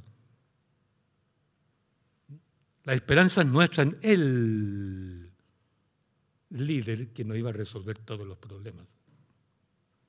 Pero aquí hubo un millón cuatrocientas mil en Santiago, récord, récord histórico, y no era para nada de eso era hacer resaltar nuestra dignidad ciudadana. Por eso querían ponerle ese nombre a la plaza, la plaza de la dignidad. Eso es nuevo. Pero ¿por qué la dignidad? ¿Por qué sin político? ¿Por qué sin candidato? ¿Por qué sin partido ni bandera, sino solamente con bandera? ¿Por qué la bandera mapuche? Si había un pueblo en el mundo que ha respetado su soberanía, es el pueblo mapuche a lo largo de cinco siglos. Porque instintivamente sí aceptamos la voz. Y unas cuantas banderas chilenas, pero la mapuche era la más simbólica. El pueblo mapuche ha sido un ejemplo mundial, un paradigma mundial de respeto a su tradición, a su identidad, a su territorio, a su pueblo, a su soberanía. Está en su tercera guerra de Arauco. Los mapuches no van a la guerra para matar gente, los mapuches van a la guerra para manejar recursos. Hay que estudiar cómo es la guerra mapuche, cómo es el ejército mapuche. Recursos. Todo lo que están haciendo hoy día tiene que ver con recursos. No están matando gente por matarse, matan a alguno por algún error, sí. Y sin embargo, Nadie quiere reconocer en Chile hoy, menos los gobiernos, que el pueblo mapuche es un pueblo soberano, dueño de Chile, porque fue el dueño del territorio chileno y de parte del territorio, la mitad del territorio argentino. Fue un imperio, del lado acá de los Andes y del lado allá de los Andes. ¿Mm? Y le ganó la guerra, de la primera guerra de Arauco, al ejército español, al imperio español. Curalaba, 1600. Y el imperio español hidalgamente reconoció al pueblo mapuche como un pueblo de igual a igual, lo reconoció, estableció la frontera del Biobío como frontera entre el imperio y el pueblo mapuche. Pero ningún gobierno chileno lo ha reconocido. Y hoy día llega a dar pena como nuestro gobierno no tiene ninguna palabra de reconocimiento para un pueblo que es un ejemplo del mundo de dignidad, de soberanía, de territorio, de astucia en la guerra. Bueno, estamos en un periodo en que el 19 de octubre generamos un movimiento ciudadano, este fue ciudadano, no de izquierda, ni de centro, ni de derecha, sin bandera partidaria, es la ciudadanía. Por, eso lo estudiamos a fondo. ¿Por qué? Y ahí, el cuento es muy largo, así que muy corto. pero lo estamos recordando incluso hoy día como un hecho histórico, como una fecha aislada, como un estallido único. ¿Me fijan? El hecho. Entonces la pregunta es, ¿la historia se compone de hechos aislados? ¿Mm? Entonces la independencia un hecho aislado, la batalla de, del Ircay, un hecho aislado, ¿Mm? la elección de Alessandria el 20, un hecho aislado, el golpe militar del año 24, un hecho aislado. La historia son puros hechos aislados como decía alguien por ahí, la historia es la ciencia que estudia los hechos históricos sucesivamente, como quien reza el rosario.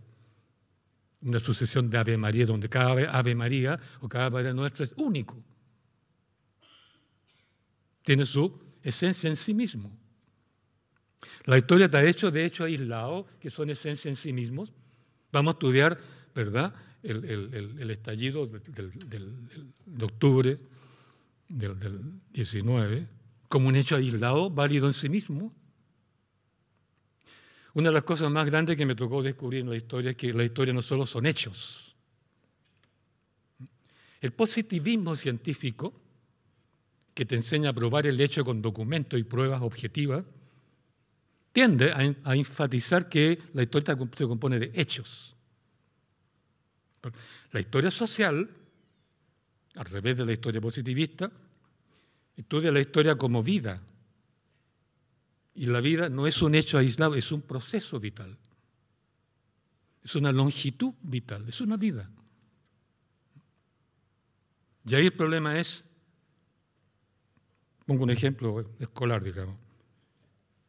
Históricamente, de acuerdo a esta perspectiva, ¿quién fue Sócrates? Si estudiamos la historia positivista, positivistamente tendríamos que estudiar cómo fue Sócrates cuando niño, regalón, inteligente, qué sé yo. Cuando fue adolescente, cuando se puso a discutir con los sabios, igual que Jesucristo, ¿no? con los sabios de la ley, fijarse de la ley, y lo deslumbró a todos. O el Sócrates que se puso a enseñar a los jóvenes, o el Sócrates que condenaron por enseñarle a los jóvenes cosas que no eran convenientes para la poli en su conjunto, le ordenan tomar la cicuta que se suicide. O el Sócrates, más interesante aún, el que yo estoy citando ahora, el que estamos usando para definir nuestras ideas. Ese Sócrates que vive en el uso que hacemos de sus enseñanzas, lo revivimos. ¿Cuál es el Sócrates verdadero? Históricamente hablando. ¿Mm? El niño, el adolescente, el que se casó con Jantipa, el que enseñó a los jóvenes, el que lo condenaron, el que ha revivido por todas partes después de muerto. Entonces, la historia es una longitud, es un movimiento, no es un hecho aislado. ¿Mm? Entonces, la pregunta que yo me hice, ¿en qué movimiento de larga duración se inscribe el 19 de octubre.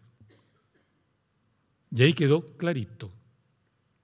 Porque la historia de Chile se ha contado la lista de los presidentes, ustedes saben, ¿no?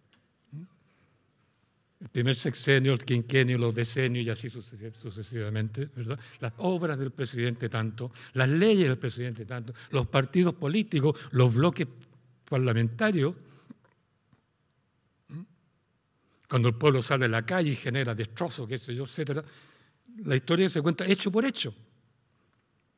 Y que el positivismo histórico, que se practica mucho en la universidad hoy día, sobre todo ahora que exigen para ascender ser magíster y doctorado. Entonces, por eso es que la historia que se produce hoy día son puros hechos, hechos, hechos, hechos, probados positivistamente, fantástico, pero sin su integración como movimiento de largo plazo. Entonces, al estudiar el largo plazo, ¿qué es lo que resaltó el tiro? Que el problema central de la historia de Chile es que nunca hemos logrado darnos una constitución política válida, eficiente y dictada por el propio pueblo. Nunca. Y todas las guerras civiles del siglo XIX, hubo seis guerras civiles en el siglo XIX. 1830, 37, 51, 59, 62 al 82, 91. Esas seis guerras civiles fue porque el pueblo, voy a decir así para hablar rápido, se paró en dos patas contra la constitución del 33, con las armas en la mano. Y el gobierno entonces tuvo que exigir que el ejército no deliberara, que obedeciera ciegamente porque tenía que defender el Estado contra el pueblo. Seis guerras civiles en el siglo X, seis veces perdimos, seis veces nos masacraron. Ese ejército que seguimos honrando por la, independencia, ¿verdad? la gloria del ejército, y, y, Yungay, y, qué sé yo, y Chorrillo y Miraflores, bla, bla, bla. Ok, ganó guerras exteriores, pero ganó tres guerras exteriores, pero masacró seis veces a su propio pueblo. ¿Y lo vamos a honrar por eso? ¿Y vamos a aceptar que es la gloria de Chile por el hecho de que esa constitución duró del 33 al 25, casi 100 años, un caso único en América Latina.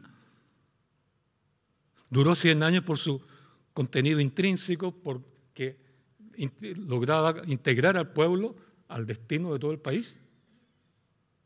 O lo logró porque lo masacró seis veces en guerra, otras tantas guerras. Con un ejército que luchó más contra el pueblo. Fíjese que la pacificación de la Araucanía, que fue un genocidio con todas sus letras, otro día podemos hablar en detalle, esa, guerra contra el pueblo duró 20 años, del 51 al 81, 59, perdón, al 81. 20 años, 22 años, depende. La del Pacífico duró 5. La guerra mundial duró 5. Y el pueblo mapuche, con lanza a pecho descubierto, con flecha a caballo, ¿eh? aguantó 20 años un ejército que maltrataba con ametralladoras. ¿Mm? Bueno, por eso no nos dejaron otro camino que estar en la calle. Y el 19 de octubre está en la memoria popular todo eso todo el siglo, las seis guerras del siglo XIX, todo el, no, puedo contar eso demasiado. El, comienzo del siglo XX, en la época de Recabarren, cuando el pueblo deliberó de nuevo por su cuenta. Y pese a estar deliberando pacíficamente, lo masacraron. 1903, Valparaíso, 1905, Santiago, 1906, Antofagasta, 1907, Iquique.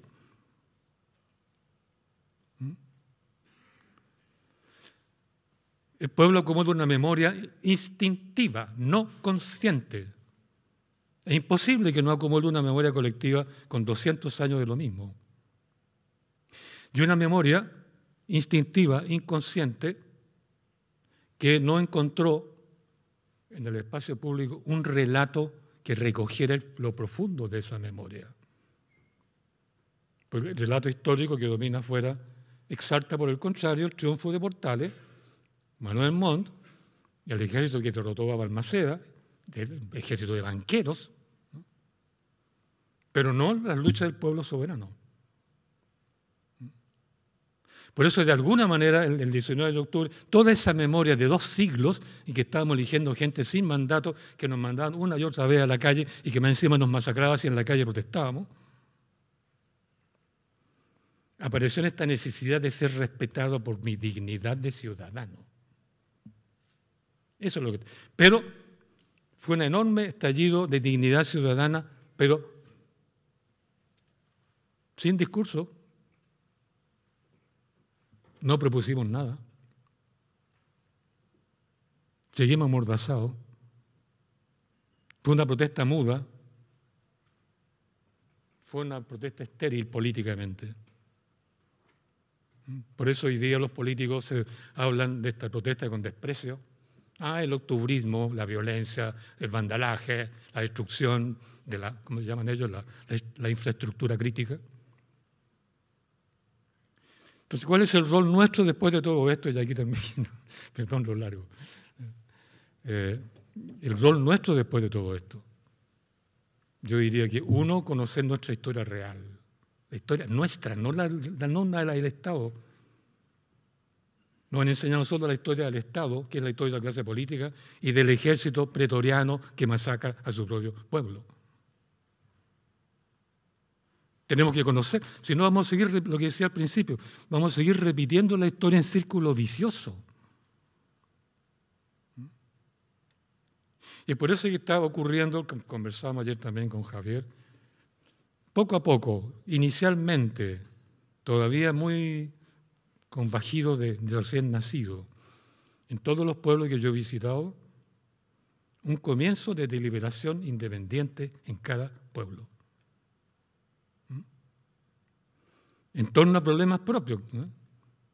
Por decir, surge mucho esto de la automanifestación de la comuna local en torno a las ferias de libros. ¿Mm? Yo le decía ayer al maestro Javier que en Chile, cuando yo era joven, de estudiante, había una sola feria del libro en todo Chile, la de Santiago, Alameda. ¿ah? Se llama así Feria del Libro, ¿no? Que parecía estos, estos juegos de Ana que había en ese tiempo, eran abiertos, llenos de cuestiones de mala calidad, que se, y medio libros. Pero ahora no hay pueblo en Chile que no tenga su feria del libro. Porque todos los pueblos que yo he conocido, chicos, tienen hoy día editoriales propias que publica lo que sus propios habitantes están entregando como poesía, teatro, historia. Recién conversaba con un compañero afuera que escribió la historia de Talca a partir de los ciudadanos de Talca, y estaban ahí presentes varios de ellos, nos sacamos fotos y todo también en Talca. Y esto es un movimiento nuevo. La comunidad se redescubrió a sí misma y por el momento está mostrándose lo que hace. Sus dibujos, su arte, sus canciones, sus grupos musicales, sus batucadas, sus carnavales, sus, edición, sus ediciones. Y en la feria del libro siempre hay un proscenio, como se decía antes. Echado, le dicen hoy día. ¿Y qué se presenta allí? Bueno, cada cual muestra lo que hace y se muestran entre ellos. Y el maestro abajo que estaba con mucho orgullo mi obra de historia de Talca. Y se la, la universidad supone que la va a publicar y los estudiantes en el colegio la van a estudiar para conocerse a sí mismos. Y la otra persona canta canciones locales, los otros bailan ritmos locales, todo lo local es un camino para reencontrarse con la comunidad con la deliberación y por ese camino vamos a descubrir la soberanía. Y si conseguimos que los colegios locales enseñen historia local, enseñen a discutir localmente los problemas locales, no del Estado de Santiago, ni lo de la globalización, vamos a poder recuperar eso que perdimos, la dignidad soberana del pueblo.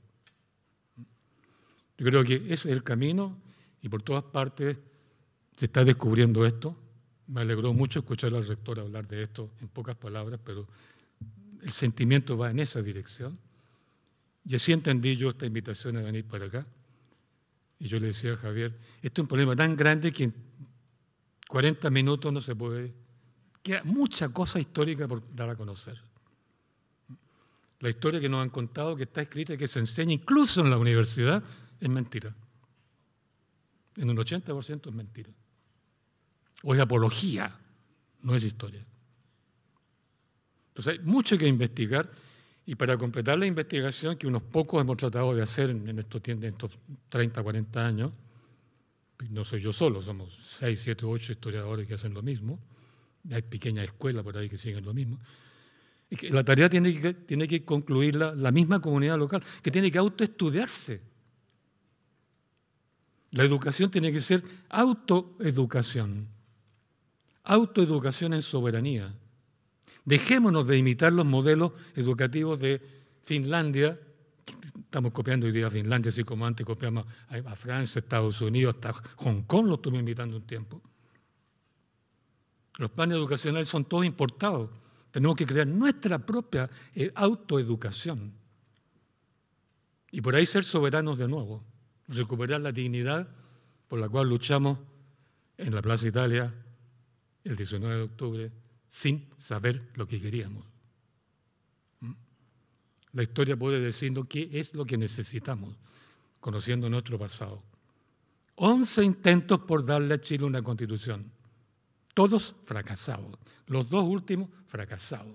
Y los políticos que se creen dueños del poder constituyente lo han dicho una y otra vez. No habrá otra asamblea, ninguna convención constitucional más, hasta, dicen ellos, el año 38, 40, qué sé yo. ¿Ellos manejan este, este problema? ¿Son ellos los soberanos? Vamos a seguir sintiendo la dignidad como una, cosa lejana que alguien tiene que dárnosla. O vamos a sentir la, soberanía como una tarea propia, una construcción, una autoeducación propia, y la única autoeducación posible se realiza en el mismo terreno, aquí en Talca, ¿Mm? o en Montepatria, donde estuvo la semana pasada, ¿Mm? pueblo por pueblo. Y eso requiere una reforma educacional en los colegios locales y ojalá en las universidades locales, porque las universidades en general, yo no digo, no nombro ninguna en especial, en general tienden a la internacionalización. Han ido detrás de la globalización neoliberal. Las universidades no están pensando Chile. Sus profesores estudian su carrera individual a través de su currículum, que se, ah, se lo evalúan todos los semestres. Están más enamorados de su currículum que de Chile. Terrible decirlo, pero es verdad. Por lo menos las universidades que yo conozco, las la de Santiago. Entonces no están pensando Chile, están pensando su carrera individual. ¿Quién nos, va, ¿Quién nos va a pensar en nosotros como comunidad? Si no somos nosotros, no hay nadie. Por eso, con mucho agrado, acepté la invitación con el título que le pusieron. Con mucho agrado y sorpresa escuché lo que dijo el rector acá y, por supuesto, también lo que el maestro Javier mencionó. Así que muchas gracias por todo y por la presencia de ustedes acá. Okay.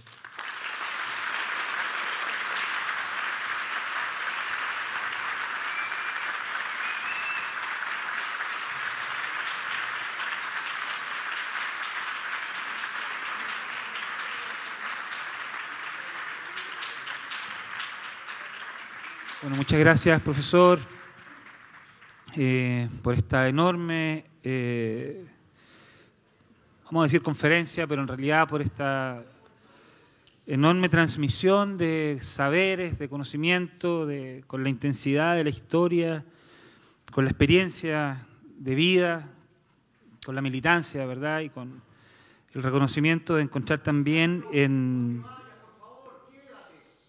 el reconocimiento también del saber popular como quizás el gran saber. Tenemos muy poco tiempo y es lamentable, pero eh, serán tres preguntas. Les pediríamos en lo posible que no se excedan para que haya espacio para los que quieran intervenir. Sé que tenemos muchas ganas y que nos encantaría quedarnos toda la tarde, pero no podemos. Bueno, ¿por dónde? Una, dos, tres, cuatro, cinco.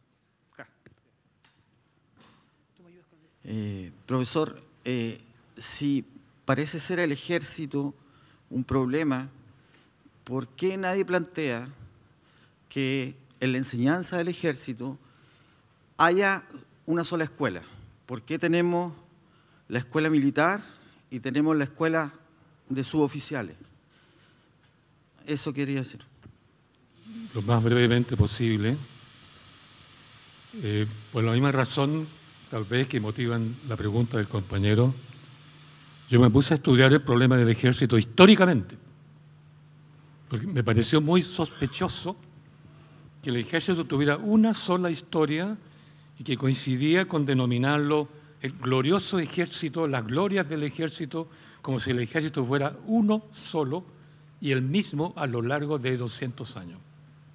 Era sospechoso.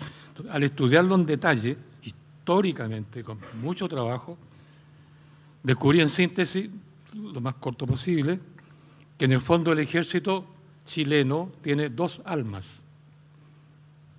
Son dos en uno. Pero eso nunca se ha dicho.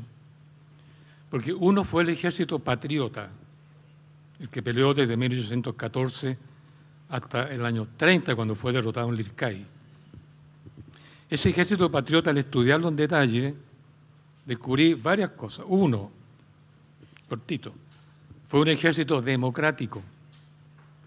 Dos, tomaba decisiones en asamblea abierta, deliberando. Tercero, todo el tiempo apoyó a los pueblos libres, a los cabildos, para que los cabildos organizaran una asamblea constituyente libremente electa, para que ahí el pueblo por sí mismo dictara la constitución que necesitaba. Este ejército luchó siempre a favor de la soberanía popular.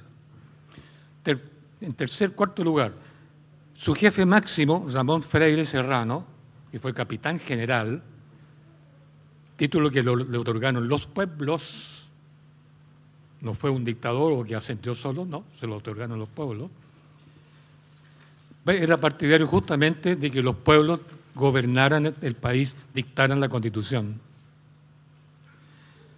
Ramón Freire ha sido el líder más democrático que ha tenido el ejército de chileno.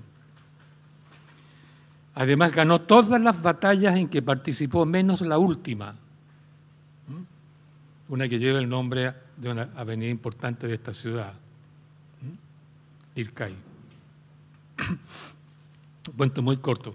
La batalla del Ircay, que ganó el general Joaquín Prieto, apoyado por la peso, la plata que tenía Diego Portales, que contrató un ejército mercenario que él pagó, se robaron plata al Estado para pagar también a los oficiales, entre ellos Joaquín Prieto. Ese, haciendo trampas increíbles, traiciones increíbles, ganó la batalla del Ircay. Acortando el, cuento lo más que puedo, con engaños, con qué sé yo, toda clase, a tal punto que el mismo general Prieto, cuando fue presidente, todo su gobierno obligó a los oficiales del ejército que él formó, que era mercenario, y que derrotó al ejército patriota, y que lo dio de baja después del IRCAI entero, todo el ejército lo dio de baja y a los oficiales los mandó al desempleo porque no les pagó ninguna pensión. Bueno, este señor exigió que los oficiales de su ejército mercenario en su hoja de servicio no pusieran por ningún motivo que ellos participaron en la batalla del Ircay. Porque esa batalla se ganó con trampa, con traiciones, e incluso los oficiales del ejército patriota que cayeron presos, estando prisioneros, fueron asesinados a hachazos. Por esa razón, los oficiales del ejército patriota, que fueron dados de baja y, que sus oficiales fueron matados cuando cayeron prisioneros después de las traiciones del IRCAI, acusaron a Joaquín Prieto, que era un general felón, igual que el roto que el, el condorito del roto que felón. O sea, un oficial sin ética, de caballero, sin ética de ningún tipo, que con traiciones y faltó a su palabra, muy, largo contar toda la historia, y con asesinato de prisioneros, logró lo que logró. Y por eso ningún gobierno reconoció con los honores que pudieron haber tenido los que participaron, les dio vergüenza. Bueno, digo todo esto porque ahí está clarito. El ejército de Chile se dividió en dos. El, patriota que fue dado de baja por el ejército mercenario que financió Portales y Joaquín Prieto con las tradiciones de Prieto que ganó la batalla del Ircay. Dos ejércitos. El esquema se repitió el año desde el 1907 a 1924, porque el ejército que organizó Portales, que después se convirtió en ejército constitucional, un ejército mercenario que se convierte, porque claro, fue un gobierno. Ese ejército fue el que masacró seis veces a los pueblos cuando estos se rebelaron contra la constitución del 33. Por tanto, fue un ejército, no era un ejército nacional, eso lleva un nombre, es un ejército pretoriano. El ejército pretoriano es el que defiende a una élite, no al pueblo en su conjunto, no a la nación en su conjunto, sino a una élite. La palabra viene de pretor. Pretor era la guardia privada del emperador de Roma. Guardia privada. no un ejército nacional. A comienzos del siglo XIX, Balmaceda hizo un, un convenio con Prusia, que era la principal potencia militar de la época en el mundo, para que oficiales chilenos fueran a estudiar allá. Durante más o menos 6, 7 años, 10 años, centenares de oficiales estudiaron en Prusia. ¿Qué aprendieron allá? Dos cosas importantes. Que el ejército de la nación defiende a la nación en su conjunto, no una parte de ella contra otra parte de ella. De esa el ejército prusiano era nacionalista. Después el ejército alemán era nacionalista a morir. Pero el chileno no era nacionalista porque defendía a la oligarquía contra el pueblo. Estos oficiales aprendieron lo contrario. Entonces, cuando llegan acá, de vuelta, 1907, llegan, comienzan 1903, 5, 6, 7, justo con las grandes masacres, llegan acá y les dio vergüenza. El ejército chileno no era nacionalista.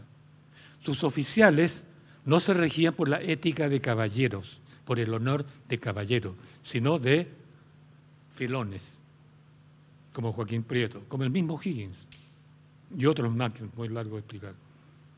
Por eso ese ejército se avergonzó de lo que estaba haciendo, que estaba masacrando a los trabajadores y dio un golpe de Estado el año 24, el 4 de septiembre de 1924. Un golpe de Estado incruento, no dispararon un balazo, no metieron a nadie preso, pero mandaron cambiar al presidente Alessandri al exilio. Mandaron cambiar todos los políticos a sus casas. Deshicieron el gobierno oligárquico que surgió el año 1833 con Portales, sin disparar un tiro, sin meter preso a nadie. Y el 11 de septiembre de 1924, te respondo, te fijas históricamente, no te respondo con concepto. El 11 de septiembre de 1924, una semanita después de haber dado el golpe inicial, para explicar el golpe, sacan un manifiesto al pueblo de Chile. Esos, oficiales eran tenientes, capitanes, mayores, coroneles, no los generales. Era la oficialidad, el ejército joven, como le puse yo, ¿no? Sacan un manifiesto al pueblo de Chile. ¿Qué dijeron ahí? Uno, hemos hecho esto, el golpe de Estado, con un fin, son, sus palabras, no, no, estoy inventando, con un fin exclusivamente quirúrgico. No queremos atacar a nadie, no queremos destruir a nadie. Un fin exclusivamente quirúrgico. ¿Por qué quirúrgico? Quisimos, son sus palabras, extirpar la gangrena política que inficionaba el Estado Nacional de esa época. Por tanto, fue contra los políticos, contra el parlamentarismo y a favor del pueblo. En tercer lugar, en el manifiesto decían, no vamos a gobernar nosotros, no vamos a dejar como herencia un caudillo o un dictador. Por el contrario, vamos a terminar nuestra labor convocando al pueblo para que elija libremente delegado para una asamblea constituyente que el pueblo mismo allí en esa asamblea dicte su propia constitución de acuerdo a su voluntad soberana. Hecho eso, nosotros nos retiramos. ¿Mm? Ese ejército, te fijas, es hermano del ejército patriota, pero muy distinto del ejército que fundó Portales, que masacró seis veces al pueblo chileno cuando luchó para cambiar la constitución. ¿Mm? Ese ejército que dio ese golpe de Estado fue traicionado, porque convocaba una asamblea constituyente, pero el mismo ejército no sabía hacerla y no pretendió hacerla. No es fácil organizar una asamblea constituyente libremente electa. ¿Mm? Entonces, ¿qué, decidieron? Era una junta una especie de asamblea revolucionaria de los propios oficiales. Decidieron que la asamblea constituyente debiera organizarla a alguien que tenía experiencia en política. Entonces trajeron de vuelta, invitaron que viniera de vuelta al presidente Alessandri, con la expresa obligación que organizara él una asamblea constituyente libremente electa para que el pueblo expresara su voluntad soberana. Llegó Alessandri, voy a tener que contar esto entero porque si no, no se entiende la idea, porque hay que revisar toda nuestra opinión sobre el ejército, en base a la historia, no en base a una ideología cualquiera, o en base a la raya que podamos tener por la violación de derechos humanos de la última versión del ejército. Hay que conocer la historia completa. ¿Y qué pasó allí? Trajeron a Alessandri de vuelta, y Alessandri, yo cuento muy largo, decidió no convocar a una asamblea constituyente libremente electa. La asamblea revolucionaria de los oficiales, confiando en Alessandri que iba a cumplir la promesa que se había obligado a hacer viniendo a Chile, se disolvió. Como quien dice, la asamblea revolucionaria se autodisolvió confiando que Alessandri iba a convocar a la asamblea constituyente. Incluso, perdona que cuente todo, Javier, pero que la historia o la conocemos o, o es apología. Yo quiero contar por lo menos este detalle porque es bien importante para comenzar a pensar qué queremos nosotros sobre el ejército. Nosotros somos soberanos. Nosotros somos el generalísimo del ejército. Tenemos que aprender a legislar sobre cómo debe ser el ejército nacional en la seguridad interna, no la externa. Está bien, ellos pueden encargarse de lo externo, pero en lo interno mandamos nosotros. Entonces este ejército se encontró que, por, digamos, por buena voluntad, por creencia, por ingenuidad, confió en Alessandri, se autodisolvió y Alessandri se encontró con que tenía que organizar una asamblea constituyente, no habiendo la asamblea revolucionaria. ¿Qué hizo? Jamás convocó una asamblea constituyente. ¿Qué hizo Alessandri? Convocó a un comité constituyente, no una asamblea nacional constituyente, un comité constituyente, compuesto de unas 40 personas. Y él designó a dedo los componentes de ese comité. La mayoría fueron amigos de él políticos, la mayoría de derecha. Tres, solamente tres dirigentes sociales, entre ellos un dirigente de un partido político de izquierda que no voy a nombrar, que participó en este comité constituyente. Felizmente dejaron las actas escritas yo me conseguí esas actas, las leí todas, y les puedo decir que ese comité es el que redactó la constitución de 1925. Yo leí los dos textos, leí todas las actas, y les puedo decir que ese, esa constitución del 25 fue redactada a gritos, imponiendo su voluntad al resto, por Arturo Alessandri Palma.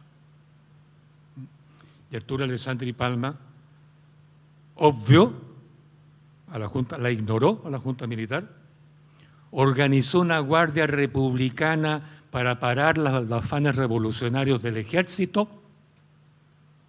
mientras el ejército de esos jóvenes buscaba el contacto con la clase trabajadora, con la FOCH, habló con Recabarren, Recabarren no podía creerlo, lo militares le estaban regalando una revolución hecha.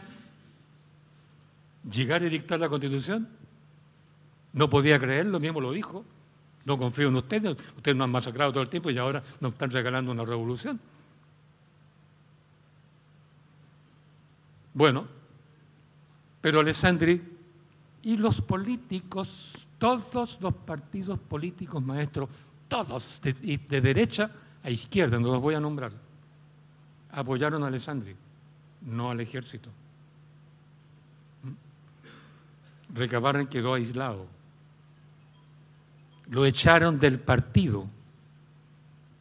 Porque Alessandri, perdón, Recabarren estaba de acuerdo con que el pueblo trabajara con, era obvio con los militares, llegar y dictar la constitución. Lo echaron del partido. Recabarren no pudo hacer nada, no pudo dirigir un movimiento social. Cuento corto, la constitución del 25 no la redactaron ni los militares ni el pueblo, sino los políticos y sobre todo Alessandri. Por tanto, una constitución ilegítima. Y el ejército quedó como ejército sospechoso. Por eso, Alessandri, toda la clase política ignoró al ejército desde entonces hasta el golpe de Estado. Crearon, repito, la Guardia Republicana, 44 mil hombres armados, disciplinados, con armamento, dirigidos por el propio general en jefe del ejército, para proteger a Alessandri, su gobierno y su constitución del peligro negro, como dijo Alessandro, o sea, los militares, y del peligro rojo, o sea, la Foch, se acabaron. ¿Se fijan? Ese ejército no es el mismo que nos masacró con Pinochet. Por eso yo le decía al maestro Javier, el ejército chileno, si queremos entenderlo en su historia real, es un ejército, lleva el apellido de Chile, pero ha tenido siempre históricamente dos almas. El alma oligárquica del ejército pretoriano y el alma democrática del ejército que quiere que el pueblo sea soberano. Dos veces pelearon entre sí. En el siglo XIX con arma en la mano.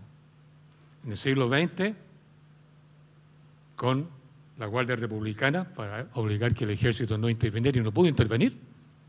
Con la ley de defensa de la democracia que impidió que se reformara la constitución ilegítima del 25, que defendió a los partidos políticos del, contra el pueblo. Y en esa lógica, en esa lógica política se educó nuestro líder del siglo XX, Salvador Allende Gossens. Allende,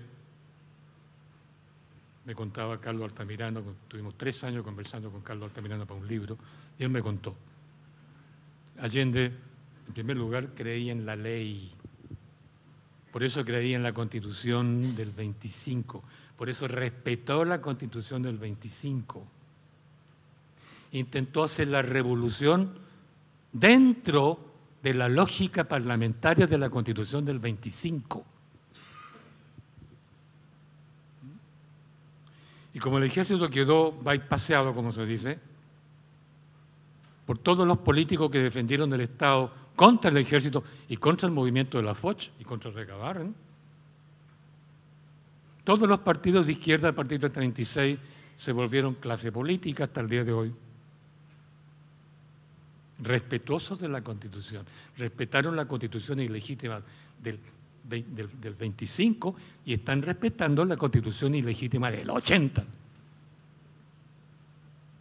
Y dejaron fuera el movimiento popular revolucionario de la época del año 24, el que dirigía Recabarren. Por eso nadie habla hoy día de Recabarren. Los dos partidos que él fundó reconoce, sí, el maestro fundador fundó el POS el año 12 y el, PC el 21, y lo respetamos como, pero nadie habla de su política concreta. Recabar en síntesis, quería educar al pueblo que desarrollara su inteligencia para dictar él una constitución y gobernar él a través de la Asamblea Popular. Por eso después del 21 y 22 y 23 y 24, los partidos que él fundó votaron a recabar, lo desecharon, lo desautorizaron cinco veces, más veces que San Pedro y Jesucristo. ¿Mm? Cinco veces. Entonces, por eso, si hablamos del ejército y conocemos su historia, recordemos, uno de ellos nos ha masacrado constantemente se va con la oligarquía, se va con el modelo neoliberal, con el modelo mercantil, ni siquiera industrial, mercantil, con la globalización, y el otro nos defiende, cree en nuestra soberanía, es nuestro aliado. Entonces, por eso es importante hoy día pensar qué pasa con el ejército. ¿Se fijan? Hay que tomar en cuenta que el presidente Piñera públicamente, cámara en mano, en la televisión, le dijo, estamos en guerra general contra un enemigo poderoso. ¿Qué enemigo? El vandalaje, dijo después. O sea, el pueblo callejero. ¿Qué le respondió el general Iturriaga, que era jefe del estado de sitio en la época y ahora es general en jefe? ¿Qué le respondió? Yo no estoy en guerra. Acuérdense, está, grabado eso. Yo no estoy en guerra, yo soy un hombre feliz. Y el hecho de que no nos masacraron el 19 de... ¿eh? Por mucho menos nos habían masacrado antes. Todas las masacres de trabajadores, son 23 en total, de trabajadores, distinto a la guerra del siglo XIX. Fue por mucho menos. El, 19 fue una cosa única en la historia de Chile. Y no nos masacraron. ¿Por qué? Esa es la pregunta. Yo he estado todo este tiempo sospechando, yo le decía a Javier, es que es imposible que el ejército no esté hoy deliberando. Uno, porque le duele los 500 y tantos presos, ¿verdad?, por violación de derechos humanos. La vergüenza mundial de haber masacrado a su propio pueblo. El rechazo de muchos chilenos a la violación de derechos humanos, que es una cosa que todo el mundo respalda. Les dolió eso. Y si quieren recuperar un poco de prestigio, tienen que pensar. Y están pensando. ¿Qué descubrí? Cuento corto. Uno, todos los oficiales mayores están estudiando postgrados, magíster y doctorado en ciencias sociales en universidades chilenas y extranjeras. La mayoría de ellos son doctores en historia, en sociología, ciencia política, en estrategia, dicen ellos, además que no estudia ningún ideólogo, no estudia estrategia, ellos sí. Están, están deliberando en grande, no conspirativa, puede que sí también conspirativamente, no lo sabemos, pero en grande para redefinir su destino, porque metieron la pata hasta el fondo. Entonces, en este contexto se me ocurrió escribir un libro en que les cuento en su propia cara del ejército patriota, que nadie habla de eso, ni del ejército joven del año 24, que tampoco nadie habla de eso. Esa es la otra alma que tiene argumento, que tiene filosofía, que tiene estrategia, tiene de todo. Y están deliberando en grande, tanto en la Academia de Guerra, un poco, pero sobre todo en la ANEPE. La ANEPE es la Academia Nacional de Estudios Políticos Estratégicos del Ministerio de Defensa, donde hay de la Fuerza Aérea, del Ejército y de la Marina. Están pensando en Chile actual. ¿Qué hacemos nosotros entonces? Salir a la calle de nuevo, nos sacamos mucho con repetir el 19 de octubre. Ese fue un gesto expresivo de una memoria muy antigua, pero sin voz. Hoy día si hacemos una movilización general, ojalá que no sea en la calle, se sea deliberativa, comuna por comuna, en asambleas comunales que nosotros tenemos que imponer. Y entre otras cosas hay que deliberar, ¿qué hacemos con el ejército? Podemos, ya ahí termino, igual que en 1812, 1812, la Asamblea Provincial de Concepción, que reunía toda la asamblea y los cabildos locales de esa provincia, discutieron el rol del ejército y sacaron un acuerdo. Y ese acuerdo lo mandaron a la Asamblea, el Congreso de Santiago, que dice ahí, resumen, la palabra clave, el ejército de Chile debe deliberar, pero siempre junto y con el pueblo. Por eso el ejército patriota deliberó. De acuerdo en la asamblea, tengo un montón de documentos que los publiqué. Pero el ejército que creó Portales no deliberaba. El que nos masacró en Iquique no deliberaba. El que no nos masacró el 24 sí deliberaba. El de Pinochet no deliberaba. Y el actual está deliberando. Científicamente con posgrado. Por tanto, ok, nos mataron y hay que luchar por los derechos humanos y hay que criticar a Pinochet, todo lo que grabó, ok. Lo mismo hizo Portales. Pero reconozcamos que el ejército patriota no. Y el ejército joven del 24 tampoco. Nos apoyaron. Por tanto, tenemos derecho, y con razón histórica, exigir que el nuevo ejército chileno para el siglo XXI, lo que queda del XXI, debe deliberar, pero con nosotros, donde el pueblo está reunido, en la comuna, en la región o a nivel nacional. Pero eso hay que pensarlo bien, científicamente, dialécticamente. Y esa es la tarea que tenemos por delante. El nuevo 19 de octubre tiene que ser deliberativo de punta a cabo. Si no, vamos a estar repitiendo la historia majaderamente. La preguntita del maestro, como ven, tiene un trasfondo histórico que da por un curso entero. Yo apenas hice un resumen acá. Perdonen lo largo. No es solo por hablar, sino para entregar conocimientos de una investigación que tomó años en poder terminar para poder decir lo que dije. Perdón, maestro Lola. Voy a tener que ser muy impopular, me voy a pifiar, eh, funar por redes sociales, eh, pero tenemos que terminar porque el profesor acá lo pasan a buscar a las 3. Eh, pero bueno, darle las gracias, creo que ha sido un momento especial para la región.